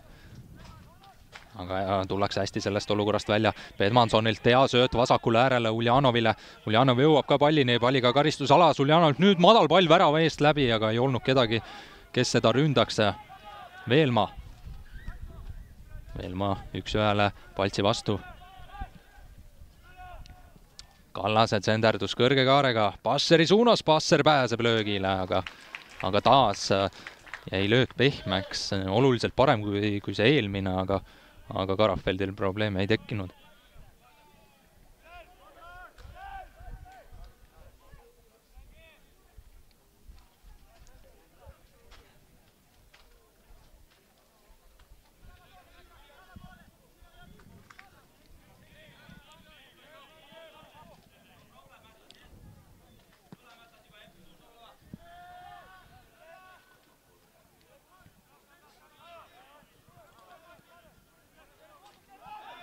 lahti.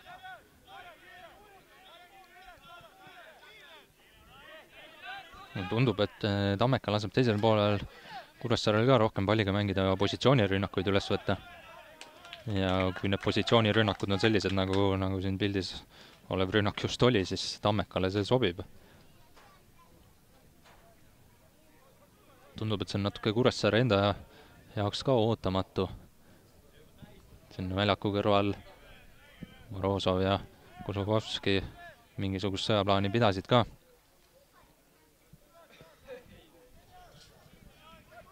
Mätas. tuleb keskväljale palliga, Pedmanson. Pedmanson on äh, päris pildis täna olnud äh, Tammeka keskväljal. Tammikult läheb äh, sööt vasakule äärele, Uljanov samuti väga pildis olnud, eriti nüüd teisel poolel, kus ta mitu korda on siin mehi ette võtnud ja kastis palliga olnud, proovib ise ka lüüa aga Allast, Allast jäi ette. Tammikut senderdus Pajunurmelt pea vahele.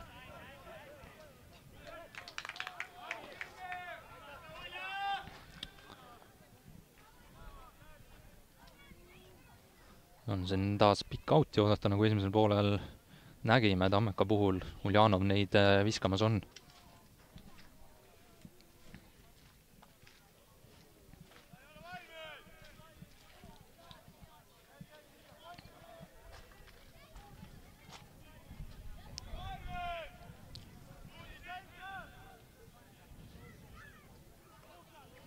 Laabust otsib, aga leiab hoopis, nüüd tuleb löök ja oi, kui napilt päris akrobaatiline sooritus Mätase poolt, napilt posti kõrvalt mööda.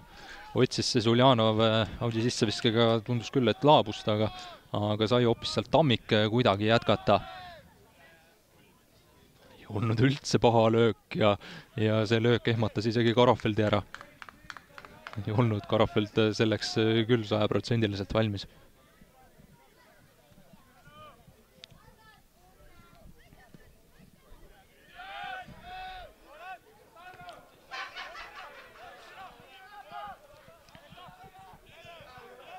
Läheb kõrgemalt peale nüüd ka Tammeka. Bašer hästi jätab Uljanovile palli. Udžeri, Mätas, Mätas on väga, väga vabas rollis olnud äh, ikkagi Tammekal. Veelma, oi, konksutab pajunurgast mööda, kas saab ka löögile mindud, endiselt Veelma lööb, väike rikošett ka seal kellegi jalgadest, aga Karafeld püüdis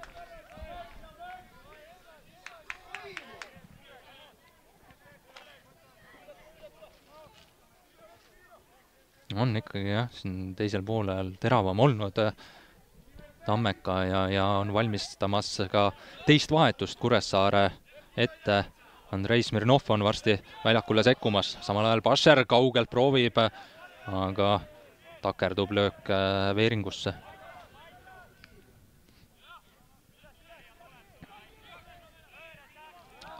ma arvan, et, et äkki, äkki nüüd Soomre mäng saab läbi ja tuuakse selline noh, naturaalne poolkaitsja väljakule Rossi kõrvale. no aga eks ole näha. Reinkord hästi saab palli kätte, pöörab, võtab Lahe rünnakule kaasa, Lahel on vasakul äärel ruumi ja välja, väga palju Kuressaare mängijaid kastis ei ole, Laht võib ise ka kaugelt lüüa, võtab, otsib Soomret. Soomre tundub ka natuke juba väsinud olevat Rein Korte saab palli kätte. õiguselt, senderdus ja päris hea senderdus, Männilaan pääses ka löögile, aga raamidest mööda. ei siiski, Sander Laht välja kuuekümne esimesel minutil. ja Andrei Smirnov tema asemele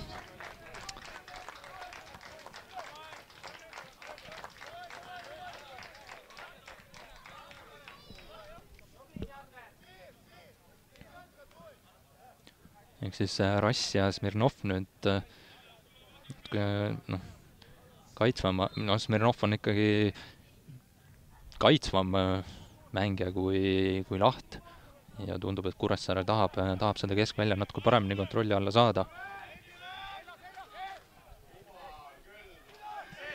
õigus. mängib Reinkortiga kokku, aga nüüd õiguse sööt täiesti adressaadita Mätas Mähtasel jah ikka väga vaba roll ja ja, ja siin vähemalt teisel poolel küll tundub, et see väga hästi sobib ka talle. kuigi seda oli ka esimesel poolel näha. Bratselli. Uljanovilt selline natukene silmad kinni palju out'i.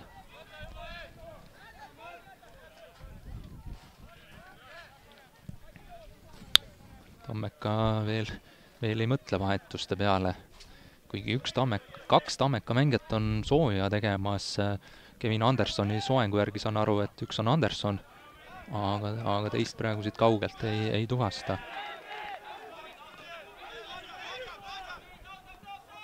Tammik. hästi mängib, äh, mängib surve alt välja, paremalt äärelt leiab äh, Kallase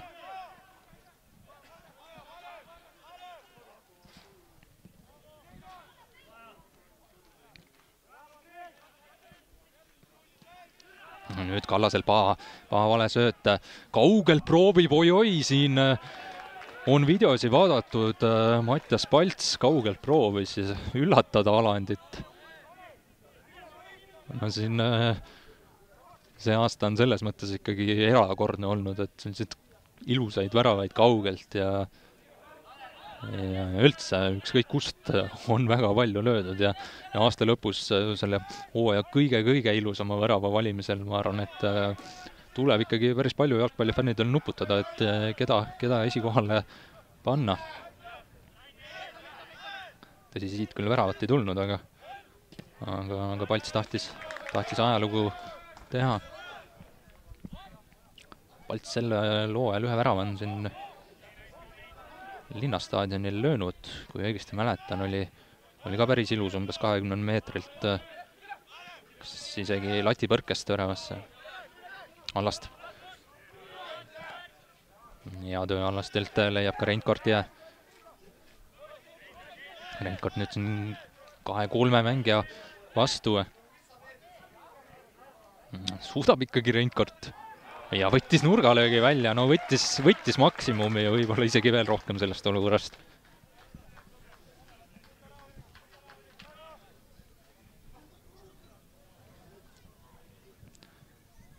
teisel poolel on vist esimene nurgalöök Kuressaarel ja kuna Laht vahetati välja, siis läheb Rass seda andma.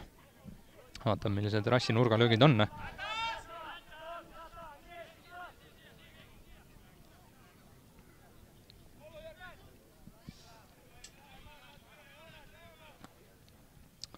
tuleb äh, päris hea nurgalöök. kaugelt õigus proovib, aga Mätase selle blokeeris ja nüüd jookseb äh, Tammeka kontrasse. Mätase, Soomrändal vastas ka kiire mees vastase. hea sööt läheb Veelmale, Veelma lööb, aga, aga liiga värava keskele ja Karofeld võttis selle ära. aga hea kontrarünnak Tammekalt. nüüd on vaja Tammekal tagasi ka jõuda Paltsilt äh, ettepoole leiab äh, Männilaane. Männilaane võtab sellest olukorrast külje sisseviske välja.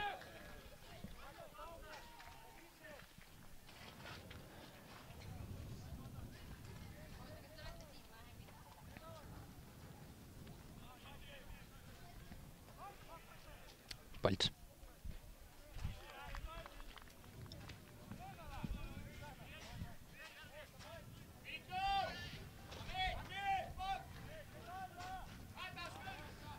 Paltsilt äh, pikk out vist. hoogu ta igatahes selle jaoks väga ei võta. kuigi õhujõudu karistusalasse läheb, aga no Palts on nii tugev mees, et polegi hoogu vaja ja ei olegi vaja. saadakse sealt ka jätkata, nüüd on käärlöögi võimalus, aga saab Passer palli kastist välja. keegi nüüd äh, Kure mängijatest proovis seal kääre. uuesti Palts, tsenderdus kasti, tuleb ka Männilaanelt löök, aga Aland oli selleks valvel ja püüdis. Männila on teisel poolel kaks korda peaga pääsenud löögile ja, mõlemad päris ohtlikud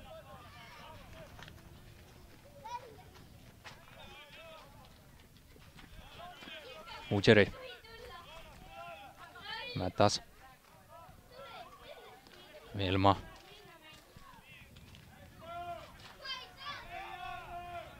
Edmanson. Läheb kõrgelt taas peale Kuressaare. aga ilusti liigub sööt ka Tammekal. nüüd siis saadi jalg vahele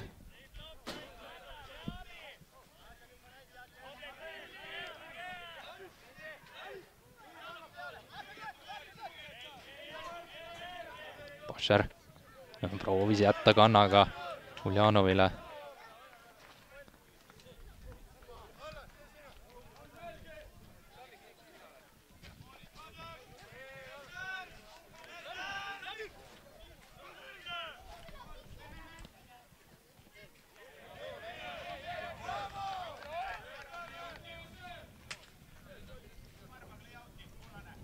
David Lehter on Tammeka poolelt peagi sekkumas, äh, on ta juba mänguvormis.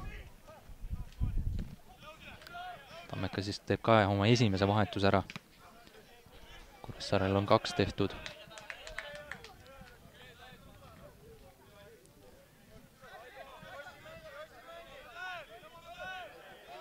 kui õigesti nägin, siis vist oli tablool number üksteist ehk et siis äh, Uljanovi mäng saab läbi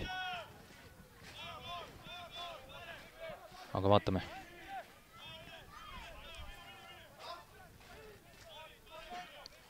Ujeri.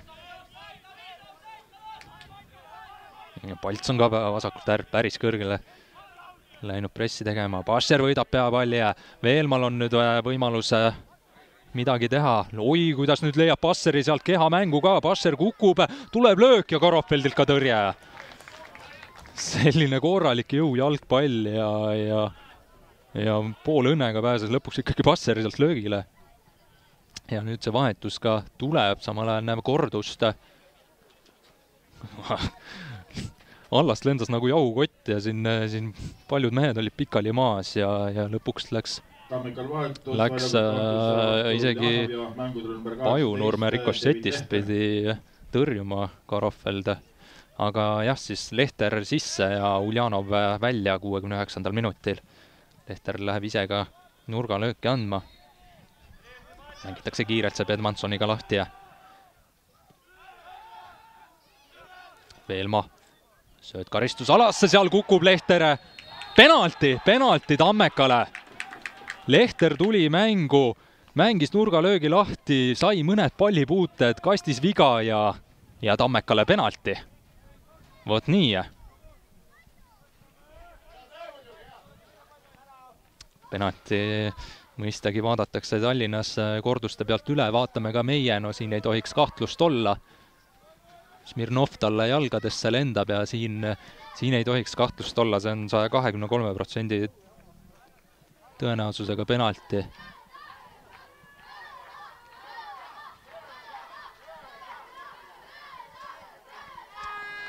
aga Pascher läheb siis lööma no penaltit veel vist ikkagi kontrollitakse.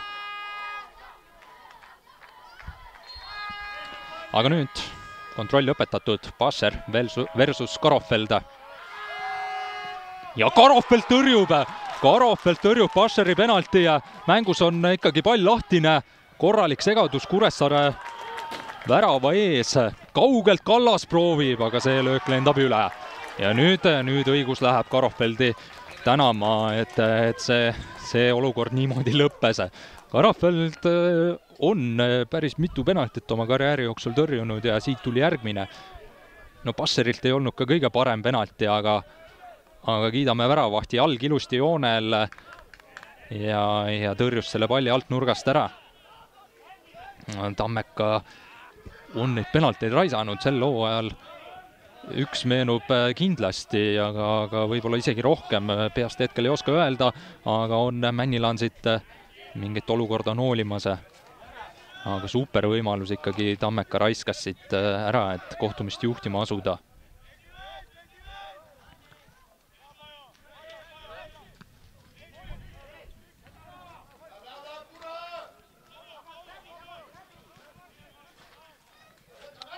Palts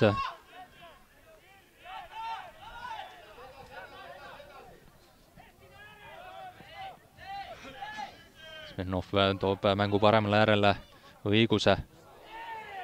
korralikult murrab Lehteri vastu ja Lehter selle olukorra võitjaks jäi. Udžeri. Kallas. tagasi Udžerile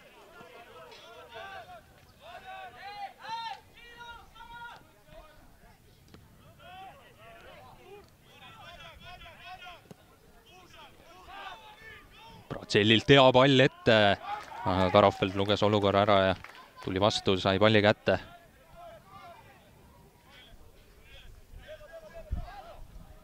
Karofeld ütleb ka Allastile, et äh, mingu üles. kõrge pall võitluse peale. Bedmanson, Bedmansonist pall out'i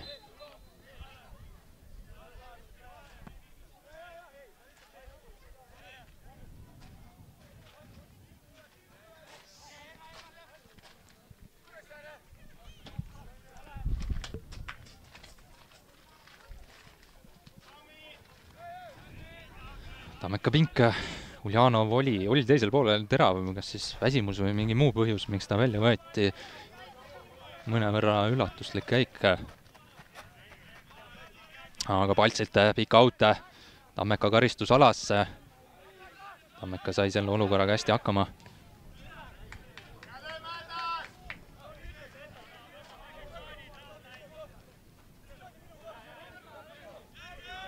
Bedmanson Smirnov käib peale, Tammekalt pikk pall ette, Veering peaga vahel.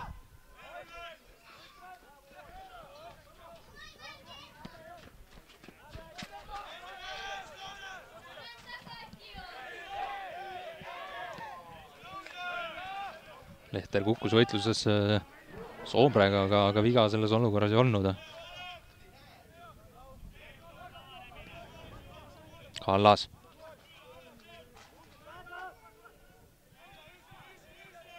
Kallaselt vale sööt. Palts on ka vahetussekundist päris aktiivne, vasakul äärel olnud, tuleb ettepoole sööt Männilane suunas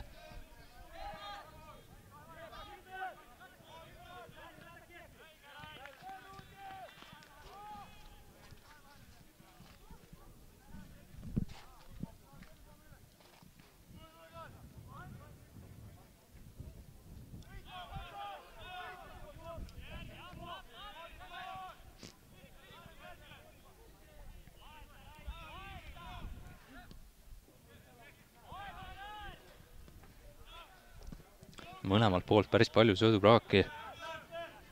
aga no see praegu tundub ka olevat selline mäng, et kes vähem eksib, see, sellel on suurem võimalus mäng võita. üks saatuslik eksimus ühelt poolt ja, ja teisel, teisel võib kuldne võimalus tekkida, nagu oli see Bascheri penalti.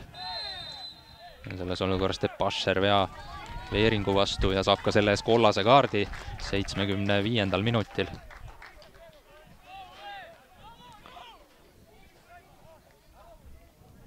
Passer äh, ohutsoonis ei olnud. küll on ta ka nüüd selles mängus esimene Tammeka mängija, kes on kollase kaardiga.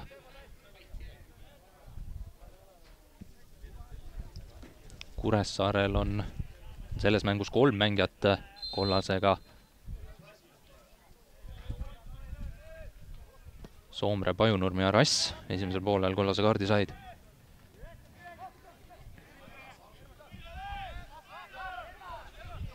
Pedmanson hästi see, sai söödu vasakule äärele ära lükatud, Lehter.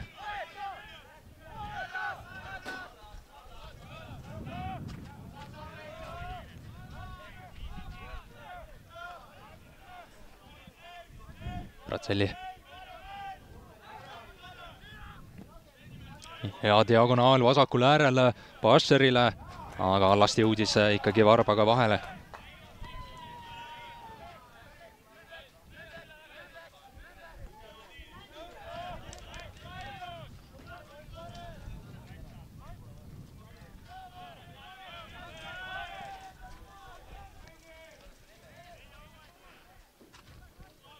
Kallase. aga see ette ei jõua Veelmaale kohalegi, kuigi Veelmaa ikkagi lõpuks võitlusega selle palli endale saab. Mätas. hästi konksutab ennast äh, ühest mängijast mööda. nüüd kaugelt löögivõimalus, Veelmaal löök ka tuleb, aga, aga see blokeeriti. Soomre. oi kui hea sööt nüüd äh, Männilaanele, Männilaane esimene puude ei olnud kõige parem nüüd Mälina on täitsa üksi, Reinkord küll jõudis sinna karistusala joone juurde, aga on sunnitud Kuressaare hoo maha võtma. üks äh, Tammeka mängija on jäänud pikali enda väljaku poolele. Tammik tundub olevat, jah. Tammikul on olnud vigastustega probleeme, loodetavasti siin ei ole midagi tõsist. parema jala hüppeliigesest hoiab kinni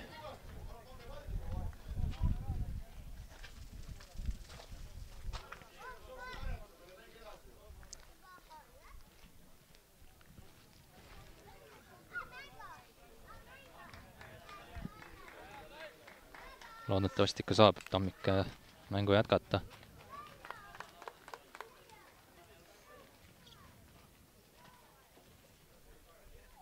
no vist saab. aga väljaku kõrvale ta igatahes peab tulema korraks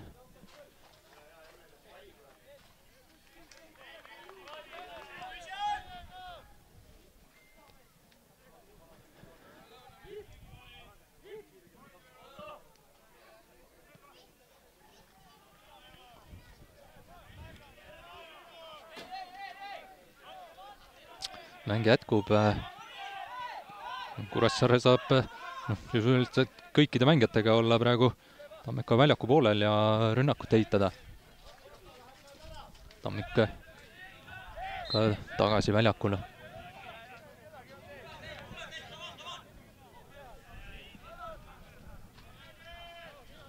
Otto Robert Lipp on äh, Kuressaare poolel ennast valmis panemas ehk siis äh, Kuressaarel ongi üks vahetuskord alles.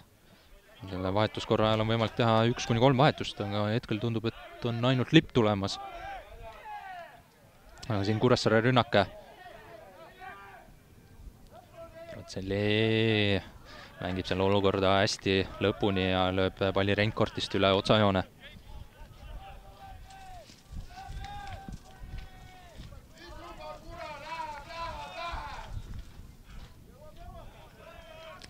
siin on äh, lipp äh, viimaseid juhiseid veel Igor Morozovilt ja Jan Vašinskilt saamas.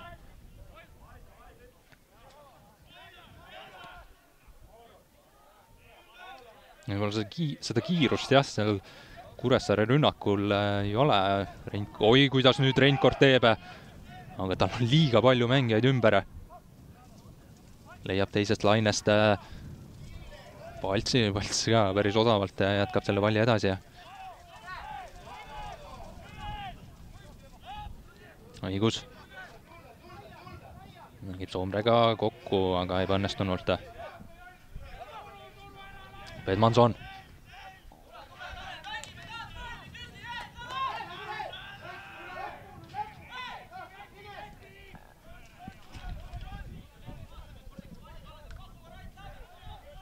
laabus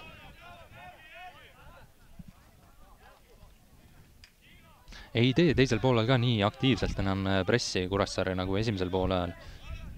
eks äh, mõnes mõttes ole ka loogiline, ei jõuagi kõik üheksakümmend minutit äh, kõrgelt pressida, Tammikul on ruumi tõusta, tõuseb ka, sööd ka, aga rass on vahele.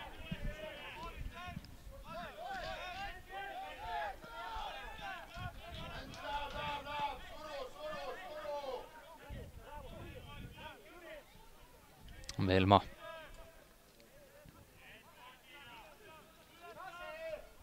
Pascher, Kallas on ka seal olemas paremal äärel, läheb ka Kallasele sööt, madal senderdus ja sealt oi kui lähedal on, aga ei suuda Tammeka ära lüüa. Mätas kõigepealt ei tabanud palli vist kõige paremini ja pärast seda enam Lehter ka vist korralikult löögile ei pääsenud, keegi Kure kaitsjatest tundus saavat jalga vahele. oli see õigus, kes, kes sai selles olukorras ka haiget. vaatame meie kordusest. hea pall Kallaselt. Ja, ja õigus tegi väga head kaitsetööd, aga, aga tundus, kas enne, vaatame siit korra uuesti jah, seal kas Veeringul oli ka väike puude ja, ja see võib-olla natuke häiris Mätast, aga, aga no väga-väga hea võimalus. Tammeka, kui siit võitu kätte ei saada, siis, siis pigem tuleb vaadata enda otsa, et võimalusi ära ei realiseerita. Penalti, nüüd see võimalus, need, need ikkagi liigituvad sajaprotsendiliste alla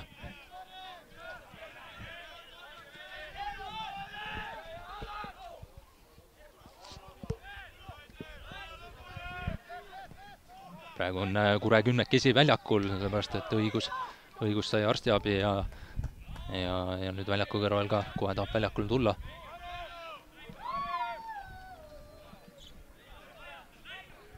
Aga no õiguse mäng saab niikuinii läbi, sellepärast lipp tuleb tema asemele.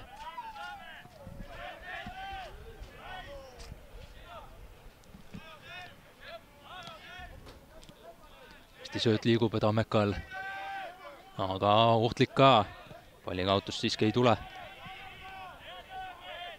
Kallas paremalt äärelt tõusmas, Kallas, no üldse mõlemad Tammeka äärekaitsjad on, on äh, päris silmapaistvalt äh, rünnakule ka lülitunud. Tammik, sänderdus kasti, aga Veering on peaga vahel ja, ja läheb pall ka nurgalöögiks. nüüd siis Kuressaare viimane, kolmas vahetus Otto Robert Lipp sisse ja, ja aga veel mitte, veel mitte. standardolukord äh, tuleb ära kaitsta. sellistel puhkudel üldjuhul kaitsevõistkond ei taha vahetust teha ja ja, ja ka praegu ei tehtud.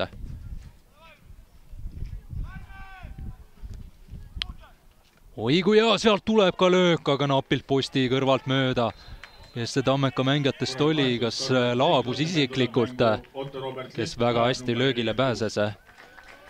aga nüüd siis see vahetus kaheksakümne neljandasse minutisse, lipp sisse ja õigus välja. nüüd on äh, Kure vahetused tehtud. ehk et need üksteist meest, kes praegu väljakul on, need peavad ka lõpuni mängima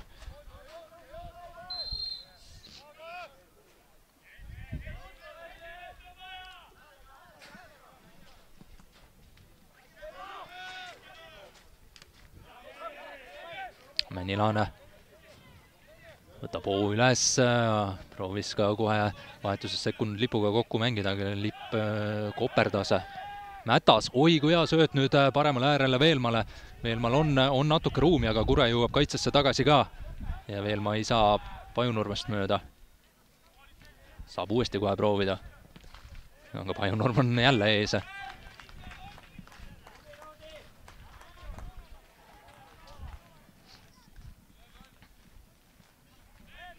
vaatame, kas nüüd äh, tuleb ka pikk out, äh, Uljanov on ju väljas. jah, Lehterile jäetakse see pikk out. Tammik läheb kasti, Bratselli läheb kasti, Laabus läheb kasti.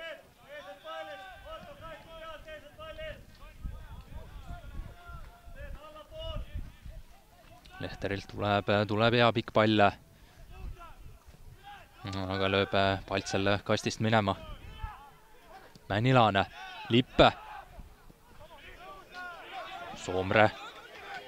Soomrel on ruumi tõusta, otsustab söödu kasuks Smirnovile, päris hea sööt lõpuks, aga oi, mis kaitsetööd nüüd teeb Laabuse. vaevu püssis püsti, aga sättis ennast sinna ette ja, ja see oli päris otsustav sekkumine Reio Laabuselt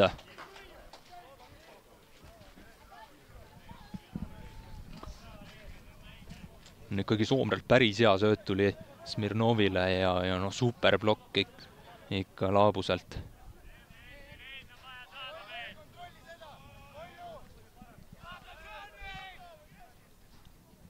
Paltsilt pikk out kõrge kaarega.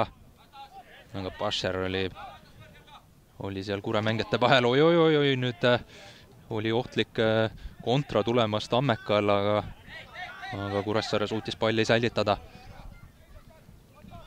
Lippe võtab nurgalöögi sellest olukorrast välja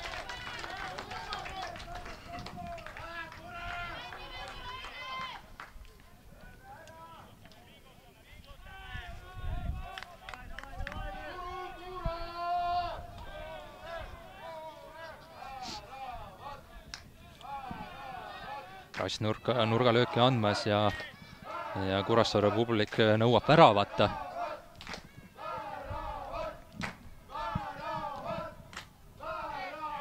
jääb madalaks see, see nurgalöök ja, ja Tammik esimese mehena sellel peaga vastas. Pajunurm. aga arusaamatu sööt. Basher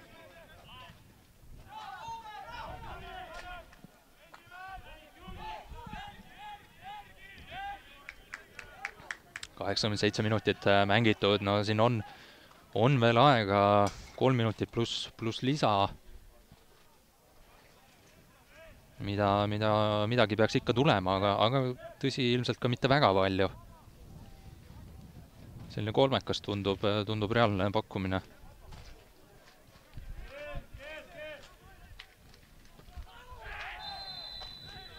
on selles olukorras viga Kuressaare kasuks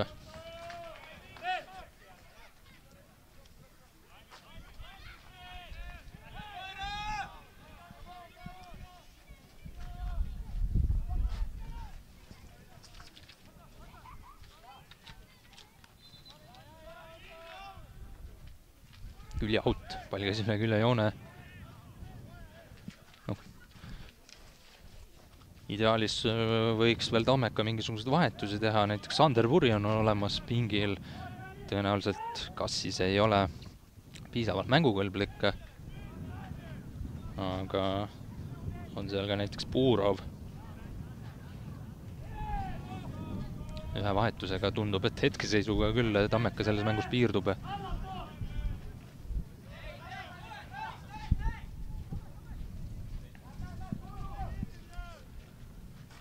on natuke raskustesse Tammekas on Kuressaare surve alla jäänud, aga, aga suudetakse pall ikkagi kuremängijast out'i lüüa.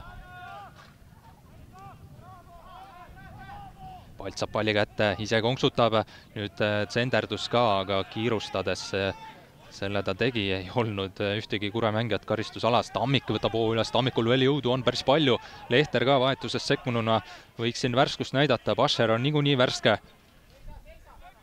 Asher otsib ise lööki ja seal kas käis pall vastu Tammiku kätt, aga super tõrje Karofeldilt, pall endiselt lahti, nagu korralik segadus ja lõpuks nurgalöök, nurgalöök äh, Tammekale. ja siin mehed hoiavad peast kinni, et kuidas nüüd seda ära ei kasutanud. no Tammik siiamaani ei suuda ära uskuda, et seis üks-üks on. vaatame uuesti no kui siit Tammik oleks värava löönud, siis see värav ei oleks lugenud. sest pall käis enne seda vastu Tammiku kätte. seda, seda võib, võib äh, kindlalt öelda. et selles mõttes peab olema õnnelik, et äh, Tammeka siit äh, ka nurgalöögi isegi sai. Mätas, võitlus käib, teine pall kukub Tammekale, Udžeri pall kasti, sealt tuleb see Allaste peanupust välja. kolm minutit lisati teisele poolele juurde. kolm minutit on aega võistkondadele, et siit võidupunktid ära võtta. no tundub küll teisel poolel, et see võit on lähemal olnud ikkagi Tammekale. Veelma. Tammekal tundub rohkem ka seda värskust olevat. siit veel üks nurgalöök Tammekale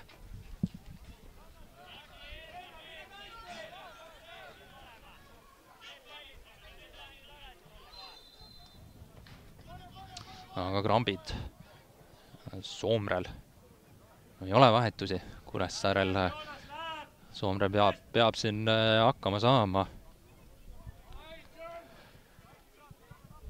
päris tõsised krambid tunduvad olevat. mul tundus juba umbes kakskümmend minutit tagasi, et Soomre tundub äh, natuke väsinud olevat, aga aga tuleb vastu pidada. Lehter nurgalööki andmas, kaks minutit mängu lõpuni umbes jäänud. Lehterilt tuleb hea tsenderdus, seal on ka, oi kui napilt. kas taas Tammik pääses kastist löögile?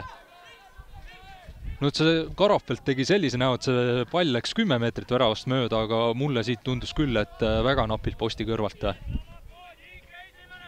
Jah, Tammik pääses, no läks väga napilt.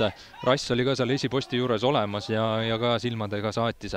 Pajunurmelt pikem pall ette lipule, jooksu peale, lipp ei ole täna siin nii palju, kui ta mängida on saanud, ei ole saanud väga oma kiirust näidata. Soomre ei jõua selle pallini, Lehter libistab ennast vahele.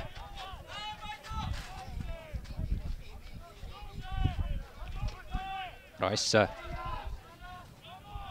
Pajunurm. Palts. otsib tsenderdust, aga leiab Smirnovi.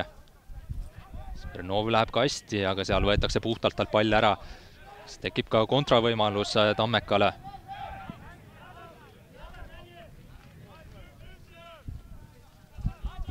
Mätas.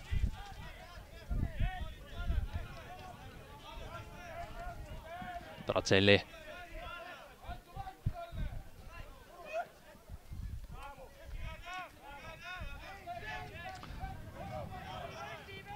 Kolmkümmend viis sekundit veel. Salandilt läheb veel mingi pikem pall ette, Lehter igatahes jookseb kõrgemale. Alandil tundub päris palju veel aega olevat nüüd läheb see pikk pall ette. Lähebki Lehteri suunas. aga Allast selle õhuvõitluse võitis. Pedmanson.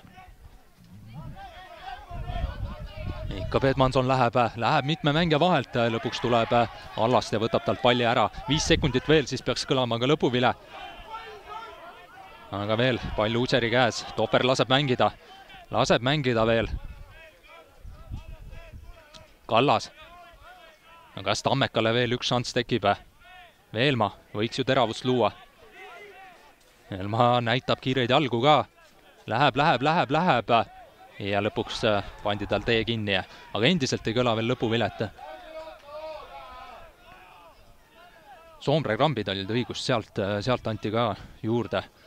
Läks juba see meelest ära. nüüd ikkagi lõpuvile kõlab. Kuressaare ja Tammeka mängivad kahekümne kuuendas voorus üks-üks viiki. teisel poolel me väravaid ei näinud, kuigi võimalusi tegelikult äh, oli päris palju. rohkem oli neil Kures, äh, vabandust, Tammekal.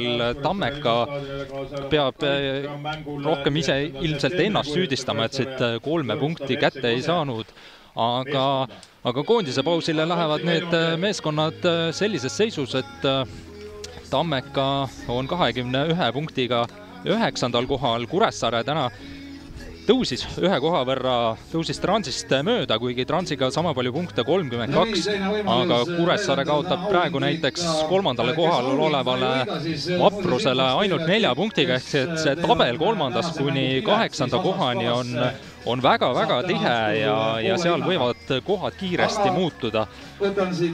Igatahes siin Sten Reinkord suures pildis oli, tema tuleb täna ka meie juurde intervjuud andma ja teiselt poolt ootame Kevin Mätast, nii et pannakse asjad valmis ja siis, siis saame nende juttude juurde minna ka, aga, aga selles mõttes huvitav mäng. ma arvan, et lõppkokkuvõttes üks-üks viik noh, kas just õiglane, ma arvan, et Kuressaare ikkagi võiks sellega rohkem rahule jääda, arvestades, mis teisel poolel nende värava juures toimus, aga aga peagi kuuleme meestelt ise, mis nemad, nemad sellest arvavad. Nende jaoks siis äh, mõneks ajaks mängud mängitud, tõsi äh,, tuleb Kuressaarel Tipneri karikavõistluste mäng nädala pärast.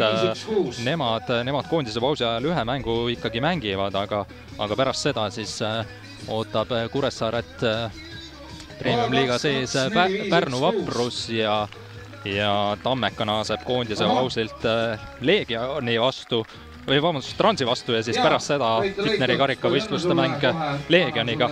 aga korraks väike paus ja siis oleme tagasi, kui on aeg intervjuudeks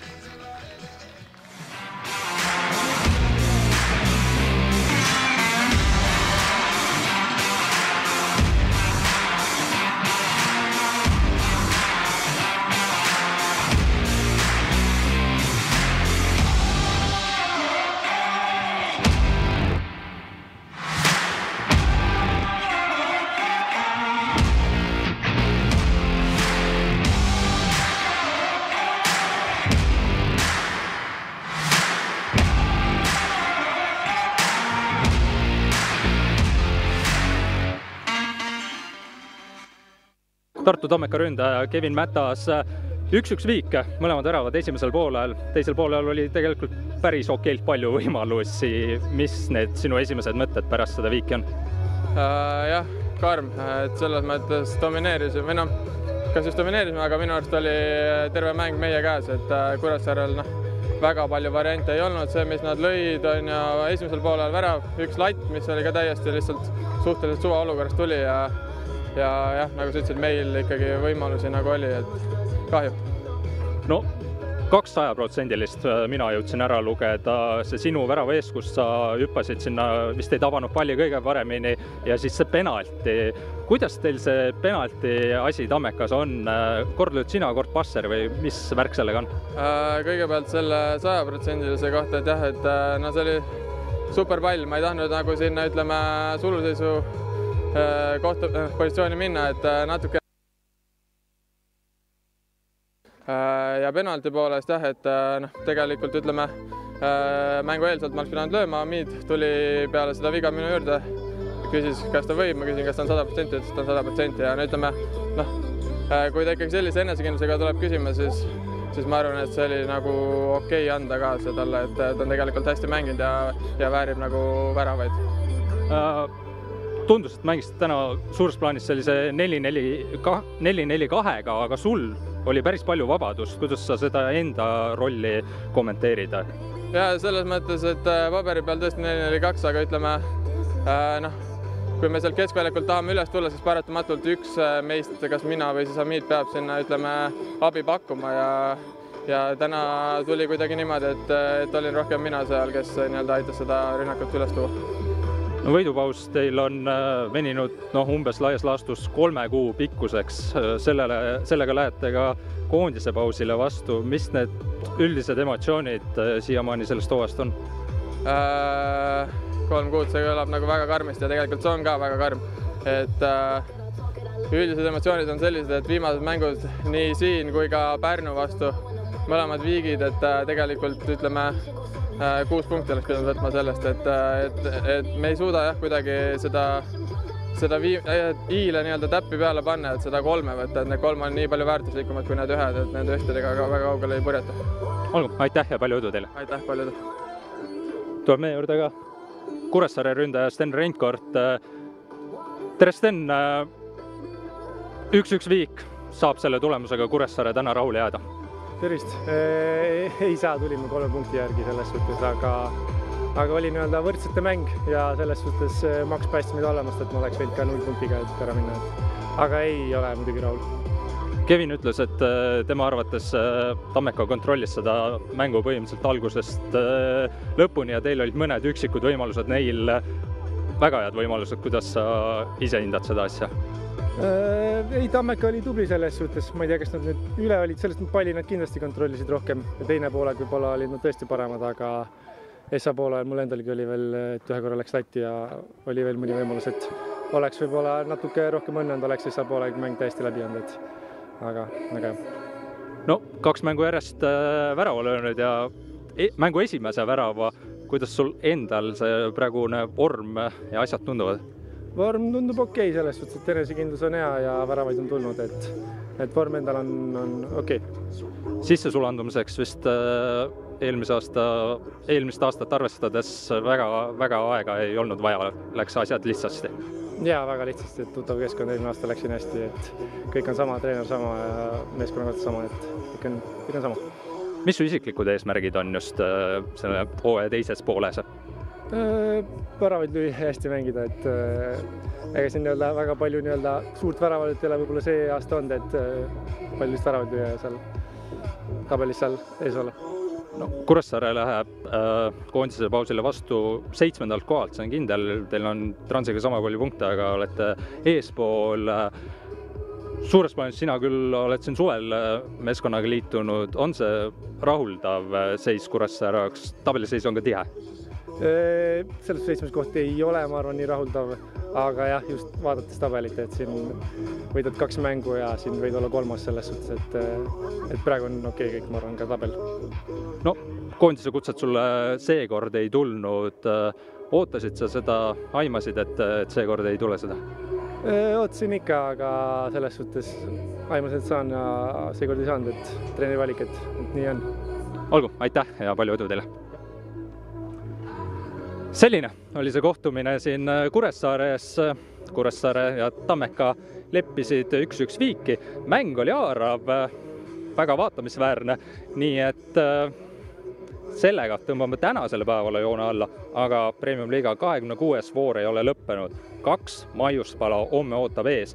Kõigepealt Nõmme Kalju ja Paide linnameeskond ja seejärel Tallinna derbi FC Flora ja FCI Levadia vahel. Tallinna derbi on ka Soccernet tv vahendusel vaadatav, nii et püsige Soccerneti lainel ja, ja kindlasti uuesti silmad ekraani ette. minu poolt aitäh!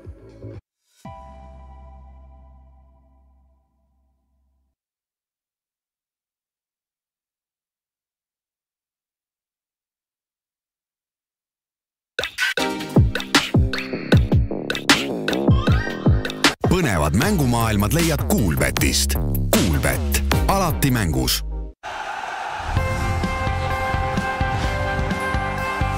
Eesti koondise peatoetaja on LHV Pank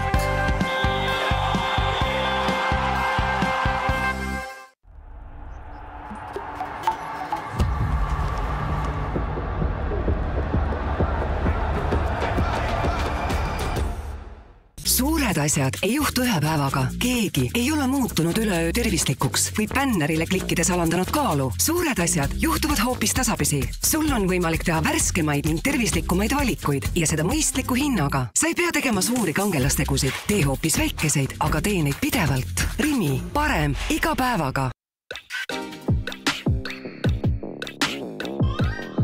põnevad mängumaailmad leiad Kuulbetist. Kuulbett, alati mängus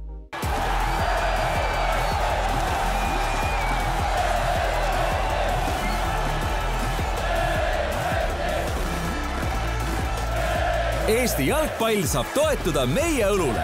A Le Coq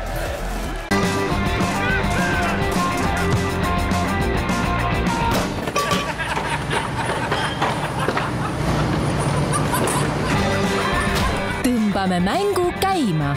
rendiseadmed Pramirendist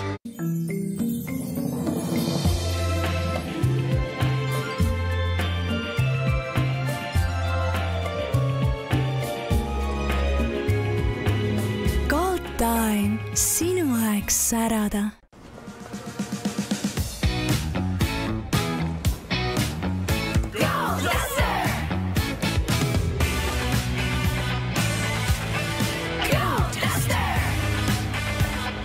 Dacia Duster alates kümne tuhande kolmesaja üheksakümnest eurost.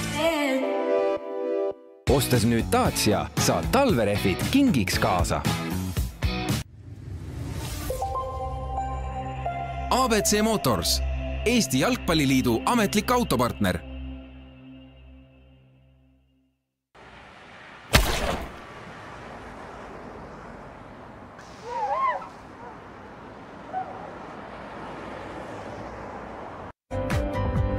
meiega koos alati nähtav. vaata lisaks linnaekraanid.ee